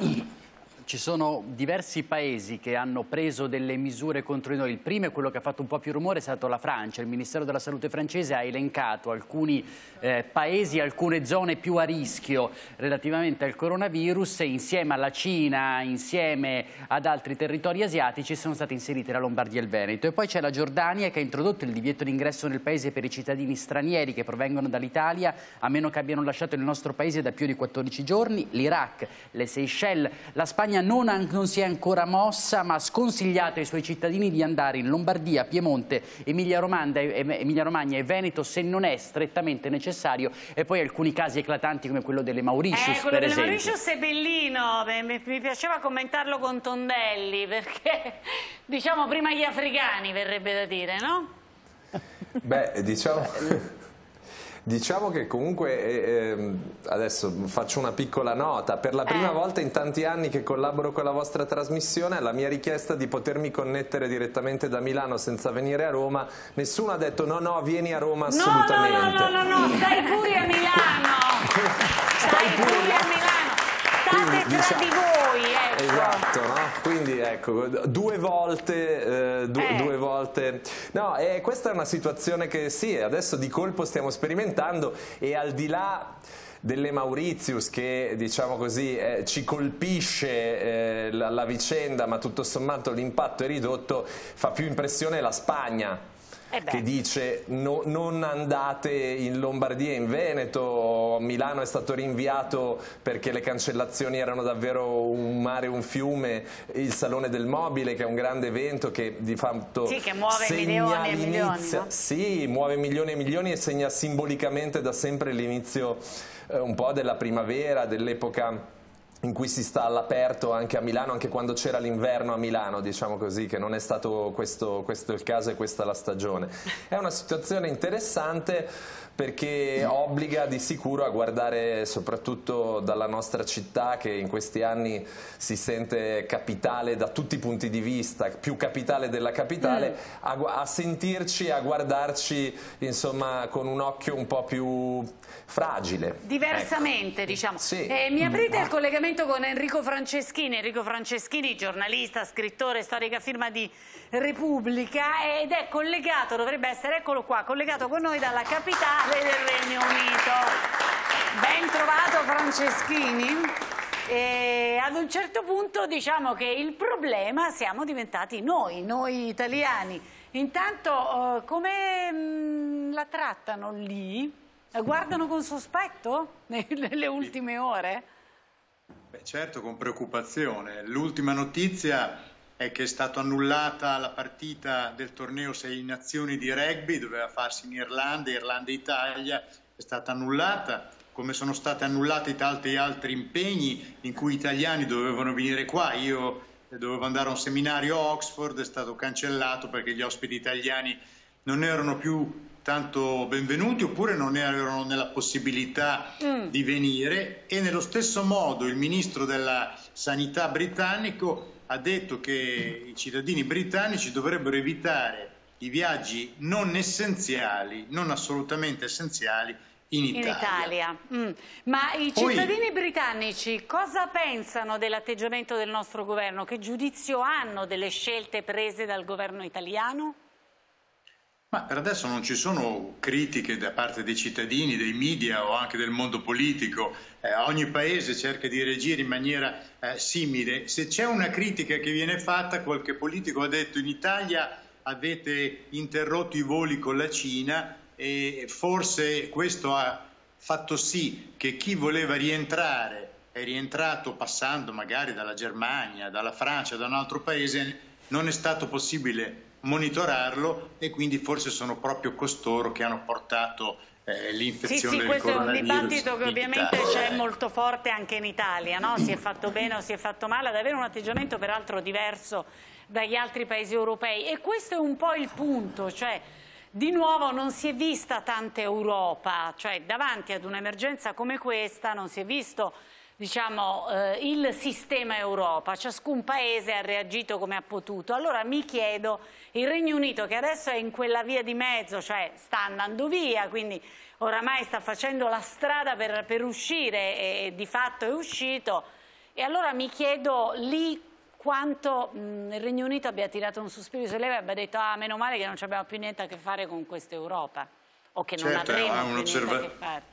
È un'osservazione giusta, chi ha votato per la Brexit a questo punto dice vedete che avevamo ragione, come avevamo ragione a non fare parte del sistema di Schengen e così almeno abbiamo dei confini che possono essere controllati di più di altri paesi eh, in Europa. Eh, quindi parafrasando la vecchia battuta, nebbia sulla manica, il continente isolato, adesso i britannici sono contenti di essere un'isola a questo punto, eh. anche se non è detto che i casi non arrivino anche qua. Hanno fatto moltissimi eh, tamponi, moltissimi test, 10.000 test, no? più o meno sì, abbiamo più, letto. Più che in Italia e per ora senza soltanto 13 casi sono stati riscontrati, di cui 8 già usciti dall'ospedale eh, senza conseguenze, però si aspettano che crescano, infatti 100 ambulatori e ospedali cominceranno a fare dei test a tappeto su tutti coloro che hanno i sintomi di influenza perché pensano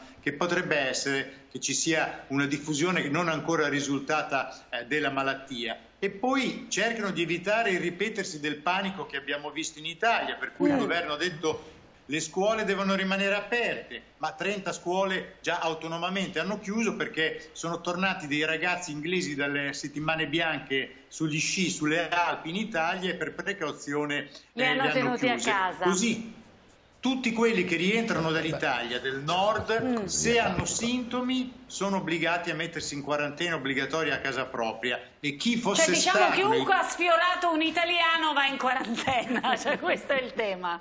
Un, eh? po sì. un po' sì. Un po' sì. Ma lei aveva per caso preso dei biglietti per tornare in Italia? Cioè, qual è Ma la io devo dire, io sono, stato, io eh. sono stato in Italia eh, fino a pochi giorni fa e ho una, una, notazione personale da dire. In Italia, in due aeroporti, a Bari e a Milano, mi hanno preso la temperatura quando sono uscito dall'aereo. Eh? A Itro, a Londra, quando sono arrivato, no. Arrivavo dall'Italia con un volo da Bologna, non, non c'è stato nessun controllo. E se evidentemente si fidano di lei, dice no, questo qua non può essere che è malato. Si vede. Eh, si vede, si vede occhio, si vede occhio. Tiziana, ad ogni modo Eh. si sta allertando anche il Nord Africa, eh? si sta allertando l'Algeria. Io sono stato, sono dovuto andare a trovare degli handicappati che abbiamo nel Sahara tunisino, mi hanno preso ai voli italiani, hanno preso la temperatura prima di farci sbarcare. Sì, Vedi? si sta allertando anche il Solo Nord Africa. Unito non Eh, prendono la temperatura. Noi, Nel resto del noi- mondo noi noi li rifiutiamo e loro cominciano a rifiutare noi. Eh, vedi, vedi, eh sì, eh sì, è la legge del contrappasso. Franceschini, grazie per essere stato collegato con noi. Poi magari più avanti torniamo a disturbarla, però grazie davvero per il momento. Vedo la povera Elena Testi che ormai è, mm, non voglio dirla questa parola, è molto chiara in viso ed è scomposta dal vento. Io direi anche che magari vai in un posto dove sei più protetta, Con un Elena. cappello chic. Oppure trovi un magnifico No, cappello è- chic. Guarda, allora facciamo così Tiziana, Ecco. mi tiro sul cappuccio del, eh, del cappotto, così almeno sono protetta.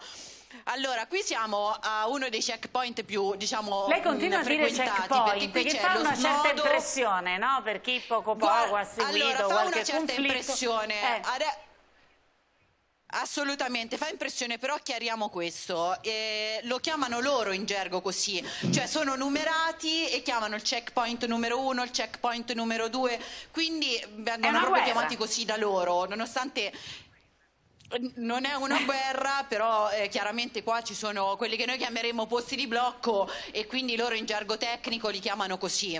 Mm, va bene. E mi dovevi dire Allora- qualcosa in particolare di questo checkpoint? No, ti stavo dicendo, vedi qua ci sono delle persone che camminano, questa è una delle zone più trafficate e loro continuano a camminare, vanno a fare footing e queste sono tutte le case. Fino adesso abbiamo assistito a scene continue di solidarietà di persone che arrivano e portano i detersivi, i giornali, eh, le sigarette, tutto ciò che non riescono a trovare dentro perché magari sono beni finiti. Quindi chiamano i comuni limitrofi, che sono dette zone gialle, perché ricordiamo, come Sì. l'avete detto più volte, ci sono le zone gialle, le zone rosse e le zone verdi. Vengono dalle zone gialle e le portano in gesto di solidarietà alle, alle zone rosse. E quindi sono Eh, ma li lasciano da da qualche parte dove poi gli altri li vanno a prendere. li lasciano Esattamente, no, li lasciano in mano alle forze dell'ordine, Ah, ok, ok, all'esercito, che poi fanno la carabinieri, qui ci sono anche i distribuzione. carabinieri che le portano. Va bene, esatto, va le bene. distribuiscono. Grazie Elena, adesso per Don Sicurani ho un piccolo omaggio, nel senso che oggi è mercoledì delle ceneri. E certo, Ed è un mercoledì delle ceneri un po' digiuno particolare. Com'è? Digiuno e assinenza. Lo dica ad Alessio Orsinger. Ho capito perché lo deve dire a me. Eh, secondo Ma me è un buon adesso si vede che ha digiunato, guarda Eh, come guarda, guarda sì, com'è magro, guarda com'è magro. Fatemi vedere dov'è che siamo andati, andati per raccontare il mercoledì delle scene? Ti viene Padova. da ridere però. eh? Sì, diciamo anche alla testa, a Padova. A Padova, a Padova. Ah. Vediamo il servizio.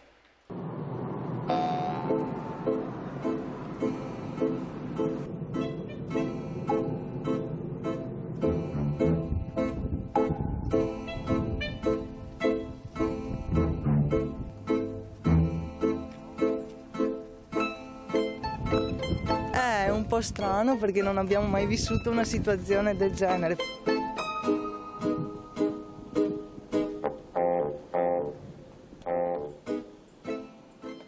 Ok, questa è un'agenzia tedesca di un gruppo che dovrebbe venire il, il 19 di aprile, vedi? Ci sono tre notti, 50 persone, puoi immaginare, insomma... A causa del coronavirus eh, hanno deciso di cancellare il viaggio. Sì, Siamo arrivati in eh, soli due giorni ad avere cancellazioni per più di 40.000 euro. Il virus della paura ha fermato la città, dai ristoranti sui colli che sono chiusi agli albergatori di Padova che subiscono cancellazioni su cancellazioni. Ma c'è una cosa che si è fermata e non succedeva dai tempi di Napoleone Bonaparte che l'aveva trasformata in una caserma, la Basilica di Sant'Antonio.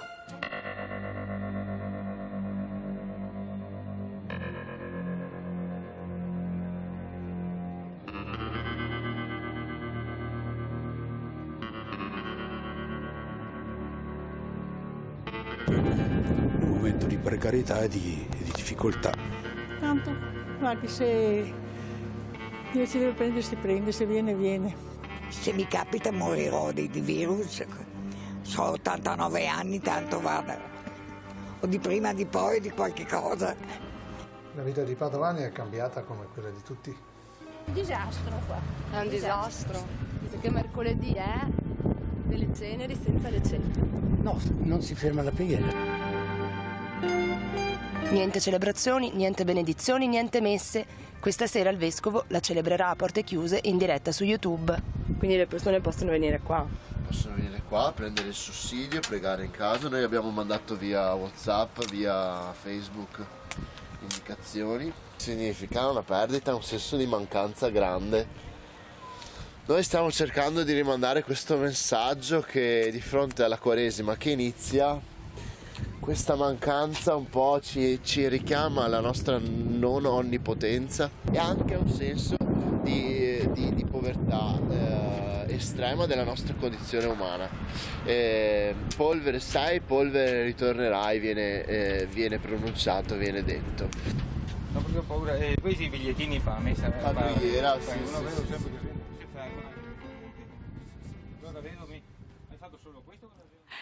Eccoci qua di nuovo in studio. No, stavo dicendo a Don Pietro, polvere sei, polvere tornerai.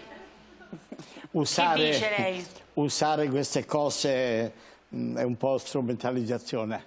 Oh, meno Eh, male, io perciò, Eh, perciò mi no. piace avere Don Pietro in Sì. studio, vorrei che fosse chiaro.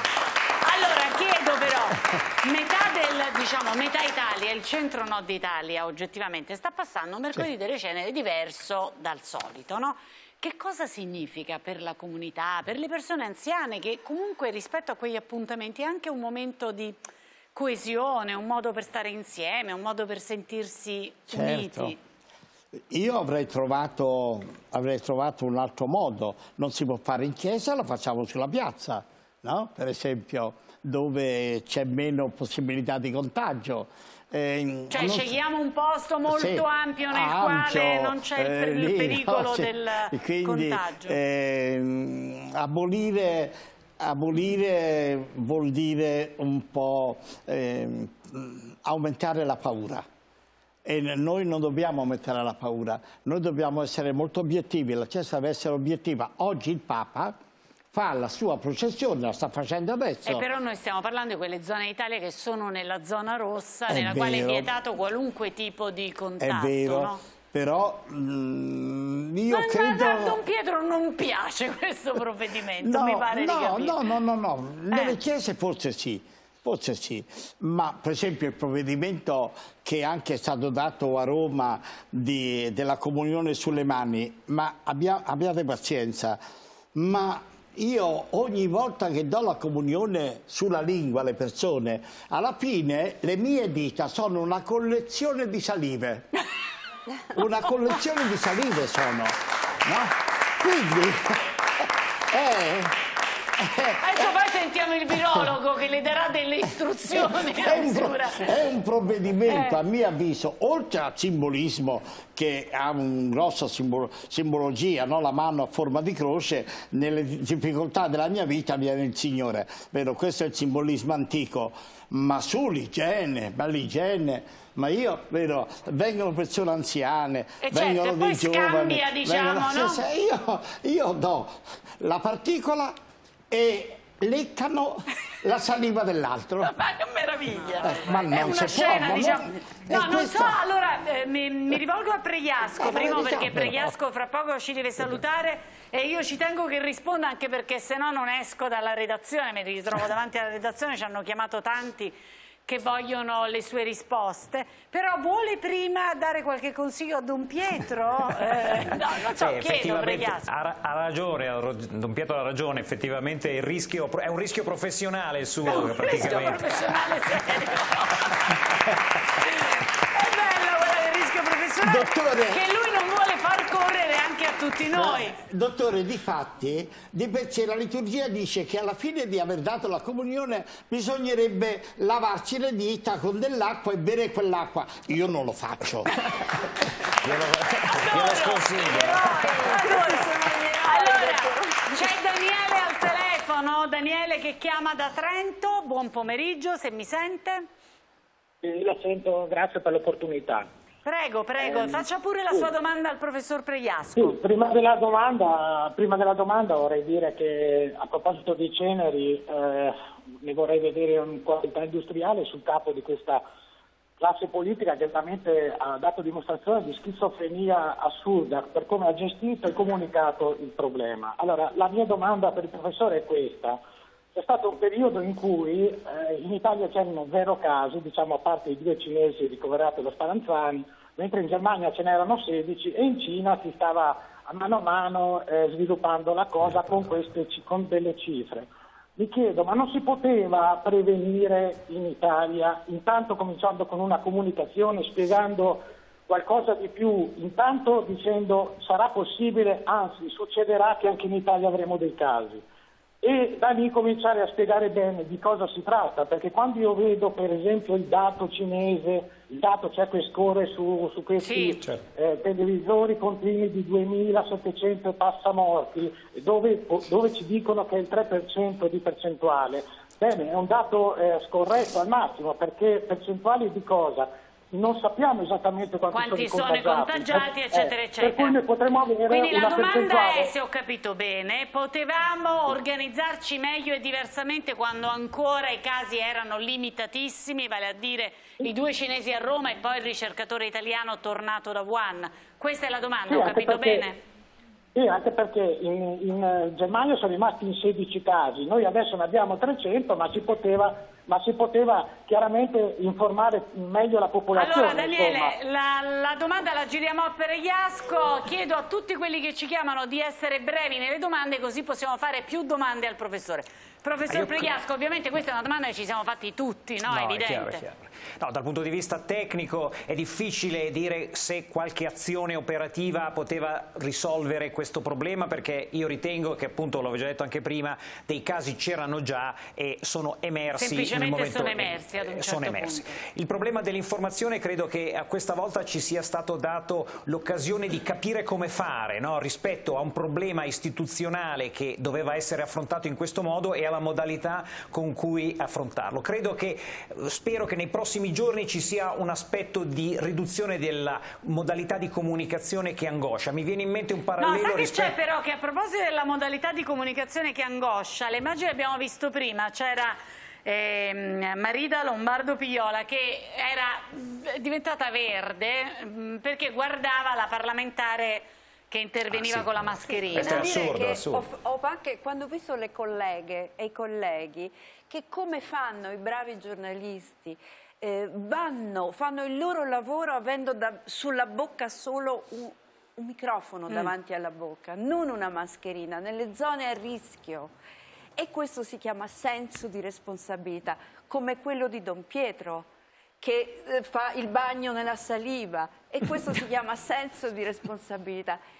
Io mi chiedo come sia possibile davanti a un'indicazione precisa. Non servono non le servono mascherine. mascherine se no Pregliasco per- me lo conferma, non servono le sì, mascherine. assolutamente sì. Se non alle Una- persone che sono malate, corretto? Per proteggere Esatto. gli altri. Per proteggere gli altri. Allora, Allora, tu- tu ai medici e agli infermieri quando stanno Certo. lavorando in ospedale con persone malate. La tua responsabilità di parlamentare, che, che quindi manda dei messaggi, che dovrebbe dare un esempio. Ecco, io vedi, que- penso che siccome in tutte le cose brutte c'è sempre un lato positivo, sarebbe bellissimo se in questo momento la politica, governo e opposizione, al di là di ogni possibile speculazione più Sì. o meno cabarettistica, ritornasse all'essenza della politica, cioè la cura degli interessi generali e non degli interessi elettorali in Allora, non so così. se è già al telefono Nadia, fra un attimo arrivo da Nadia. Intanto chiederei a Tondelli di buttare via le mascherine che ha nascosto sotto la sedia, perché noi lo conosciamo. E Alessio, che succede? Marida ha citato la- l'onorevole Baldini di Fratelli d'Italia, che è un medico nella vita, peraltro, medico... Quindi, peraltro, un'indicazione ulteriore Sì, che lei intende lei ha detto come medico? medico è una scelta che consiglio, poi i miei colleghi sono liberi di, Di comportarsi come- come, come vogliono. Una foto è che ha fatto il giro del mondo, peraltro, segnaliamo. Tondelli, Ma Santo no? Fatto. eh? Ne- Senato, Parlamento, io ne vedo pochissimi Di di, parlamentari di- mascherati. Tondelli, Eh, anche una neanche per battuta su carnevale. questo arrivo da Nadia, che poi Pregliasco deve andare via. segnalo, segnalo solo che qualche collega di- che fa la cronaca parlamentare ieri diffondeva le fotografie delle regole che ci sono nei bagni di Montecitorio per il coronavirus. È come lavarsi le mani in 12 punti. Quindi evidentemente diciamo, i nostri parlamentari hanno bisogno di essere istruiti in 12, un dodecalogo sul lavaggio 12 delle punti non è male, eh? 12 Eh. punti... Cioè boh. 10 dita più 2. Esatto, esatto, una cosa complicata assai. Nadia, Nadia ci chiama da Roma, prego Nadia. Buongiorno Tiziana. Buon pomeriggio. Buon pomeriggio. Intanto complimenti a te e ad Alessio per come conducete la trasmissione e per i vostri ospiti che non sono mai maleducati urlanti come di solito succede nelle altre trasmissioni. Grazie, grazie, allora, grazie. La mia domanda è, come puoi sentire io ho la voce rauca, ho il raffreddore e un po' di tosse, senza febbre. Prendo i mezzi pubblici, io come faccio a sapere che non sono un potenziale eh, contagiatore di coronavirus e qualcun altro più debole di me lo può prendere e ammalarsi seriamente? Devo andare in giro con la mascherina? Non deve andare in giro con la mascherina. Dov'è che è residente? Ho perso... A Roma. A Roma. No, a Roma questo- prendo mezzi pubblici che sono super pieni. Allora, io Un'altra dico... domanda pure. Sì. Eh, l'aria condizionata degli aerei può essere un veicolo? No, allora gli aerei hanno dei sistemi di segmentazione che identificano spazi di sei eh, file di, eh, di sedie, tant'è che si è visto come il rischio è assolutamente limitato, è chiaro che non si sa mai se si è seduti davanti eh, a due file o dietro due file a un soggetto a rischio. Quindi il rischio in questo momento lo corriamo tutti su questo coronavirus e su altri tipi di virus. Dal punto di vista pratico in, in Roma Può darsi che ci sia qualche soggetto, ma io ritengo che in questo momento eh, nella capitale non ci sia quella situazione che ci spaventa di più in Professore, ne Lombardia. approfitto per farle io una domanda, no? Sì. Lei dice a Nadia, siccome vive a Roma, Roma non è una zona considerata a rischio, non è né zona rossa né zona gialla, giusto?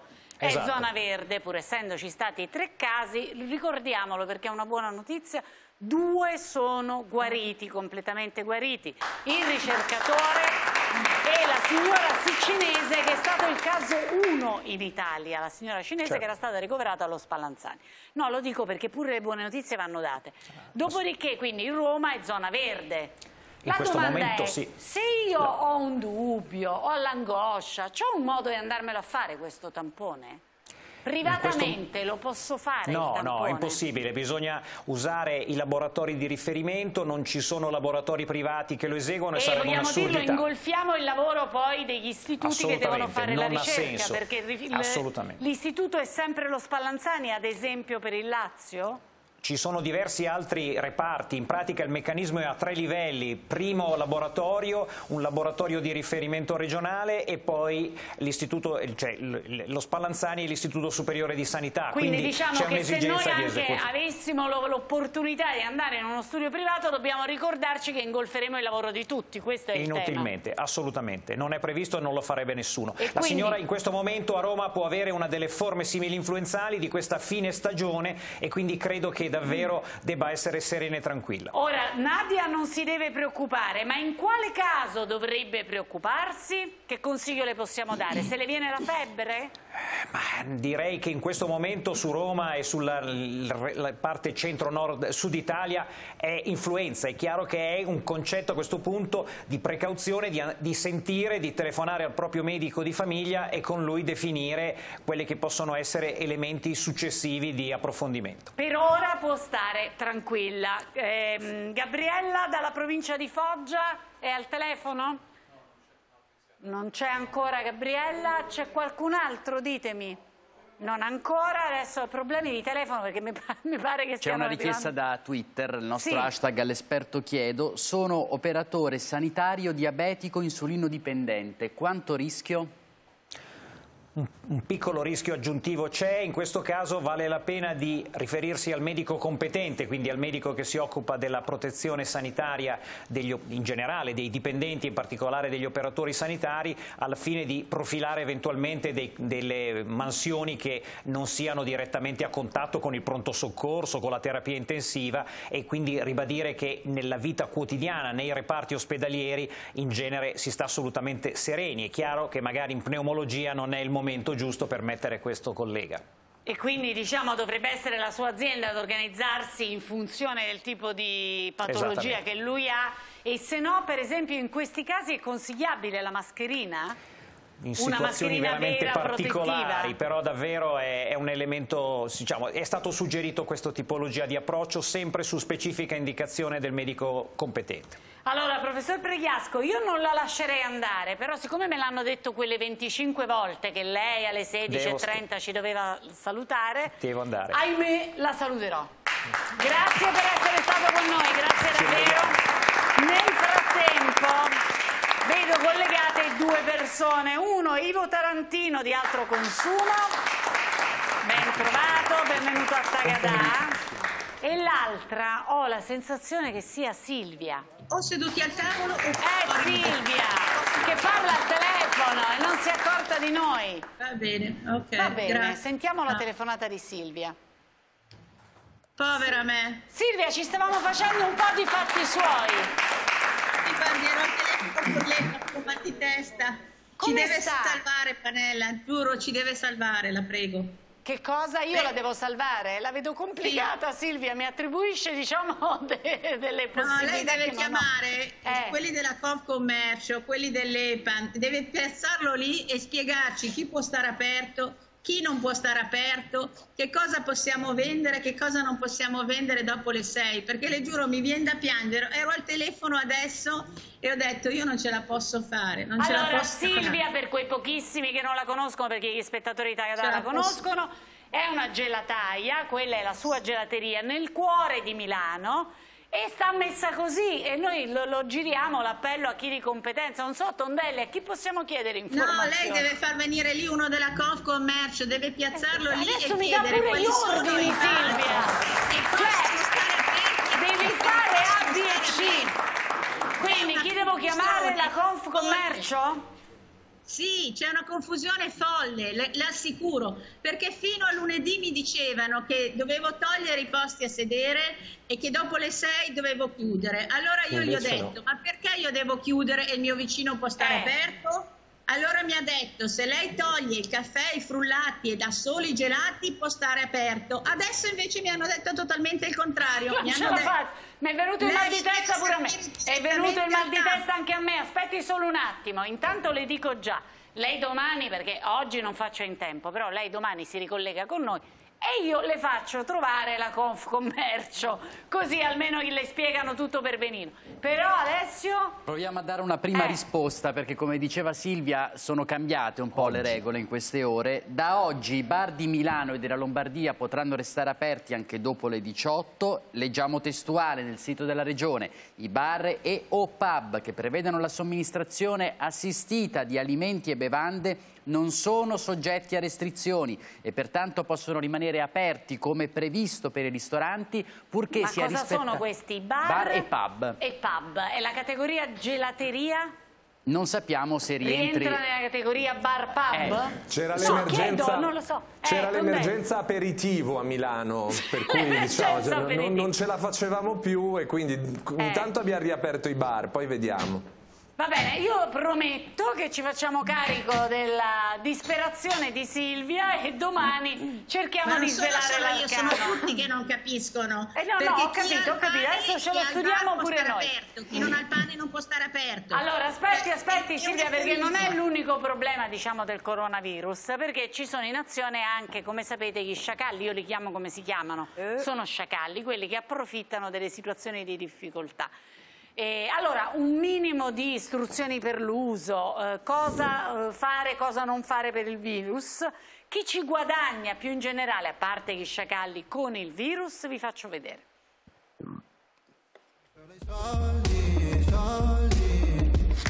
Non è una guerra, non è una carestia, non ci sono prezzi calmierati e quindi tecnicamente non c'è neppure un mercato nero, anche se davanti alle stazioni gli abusivi spacciano mascherine da pittura per salvavita a caro prezzo.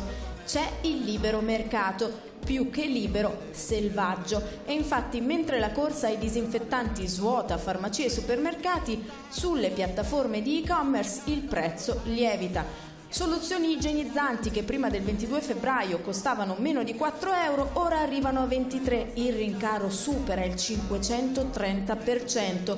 Su eBay un litro di amuchina ha sfiorato gli 800 euro.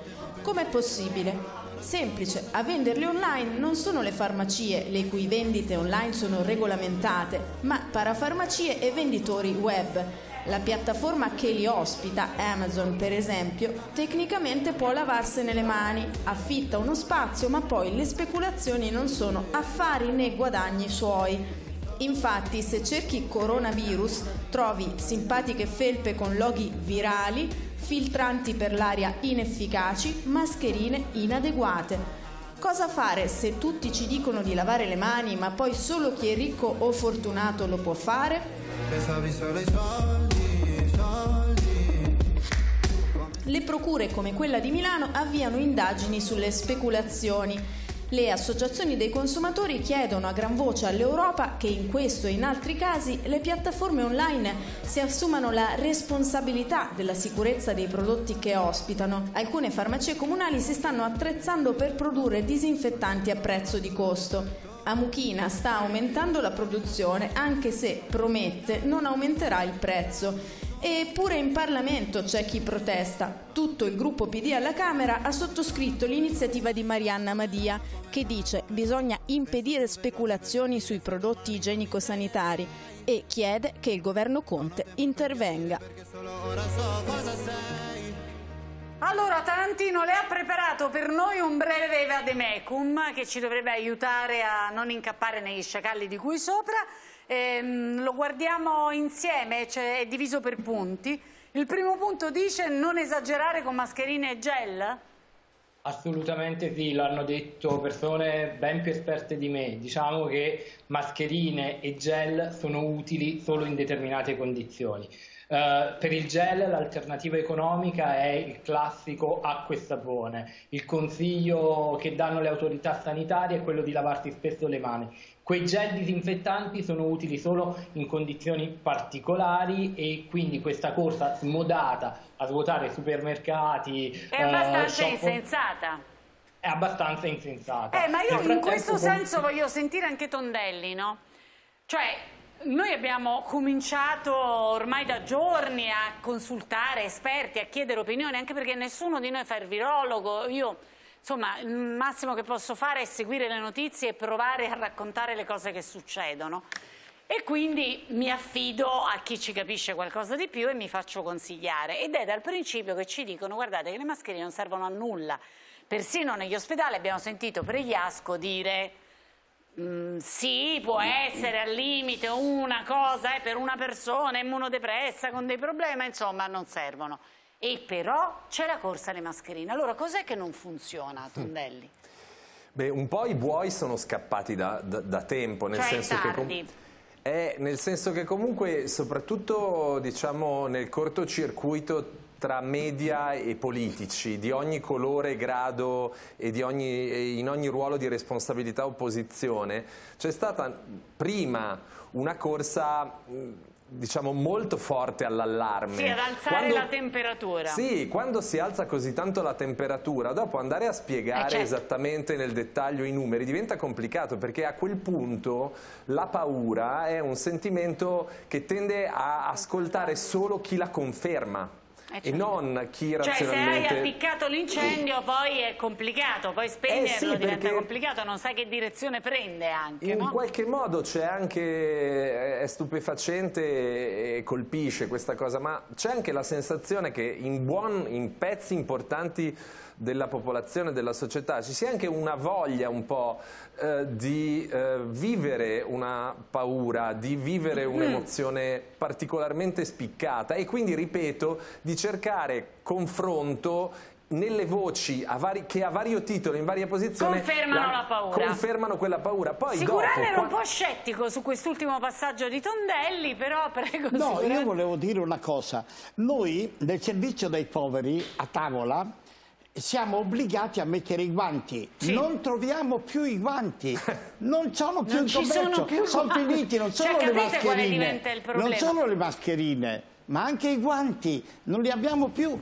E i compulsivi devono saperlo, che prendendo quei guanti, Sì. che a loro, a loro Stanno servono, creando un danno stanno a chi- creando alle persone che ne hanno bisogno Certo, per Noi davvero. però non possiamo compulsivi, lo sentire devono i capire. poveri senza i guanti. Però, Ah. però, secondo me, diciamo così, è molto facile prendersela con chi va a fare la corsa al supermercato, chi fa la corsa di Eh. guanti, la scorta di Amuchina, ma le responsabilità sono primariamente nostre, Ha ragione. nostre di chi Cioè, fa che tipo di informazione, eh, facciamo di chi fa e che tipo di politica. informazione fanno Perché- le istituzioni però perché, innanzitutto. Diciamo, dire oggi che è un'influenza un po' più robusta che solo in Dopo che mi hai detto che eravamo one, sì, Eh, sono d'accordo. ecco, Voglio si- si sentire fa per fatica. favore Tarantino che abbiamo ancora due punti. Il secondo punto è non correre al supermercato, lo citava adesso Tondelli.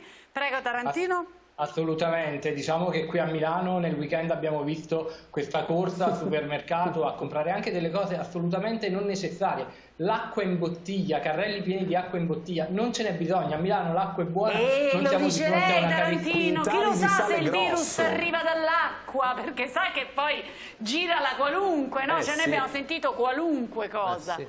Prego, prego, continui pure Tarantino. E- e Ovviamente quindi- no, eh, era una sciocchezza che girava. Prego. E c'è, qualcuno, e c'è qualcuno che se ne approfitta, mette in giro voci false. Nel frattempo abbiamo assistito a delle scene davvero da guerra, da inizio di guerra. E quindi il consiglio, noi almeno ci proviamo come organizzazione di Certo. consumatori, è quello di dire alle persone attenti, non siamo di fronte a una guerra, siamo di fronte a una situazione evidentemente rischiosa, ma attenzione a questa corsa E attenti alle truffe perché poi in questo momento, in momenti come questo, i truffatori proprio stanno lì che si fregano le mani perché dicono noi, tocca a noi. Grazie a tutti gli ospiti per essere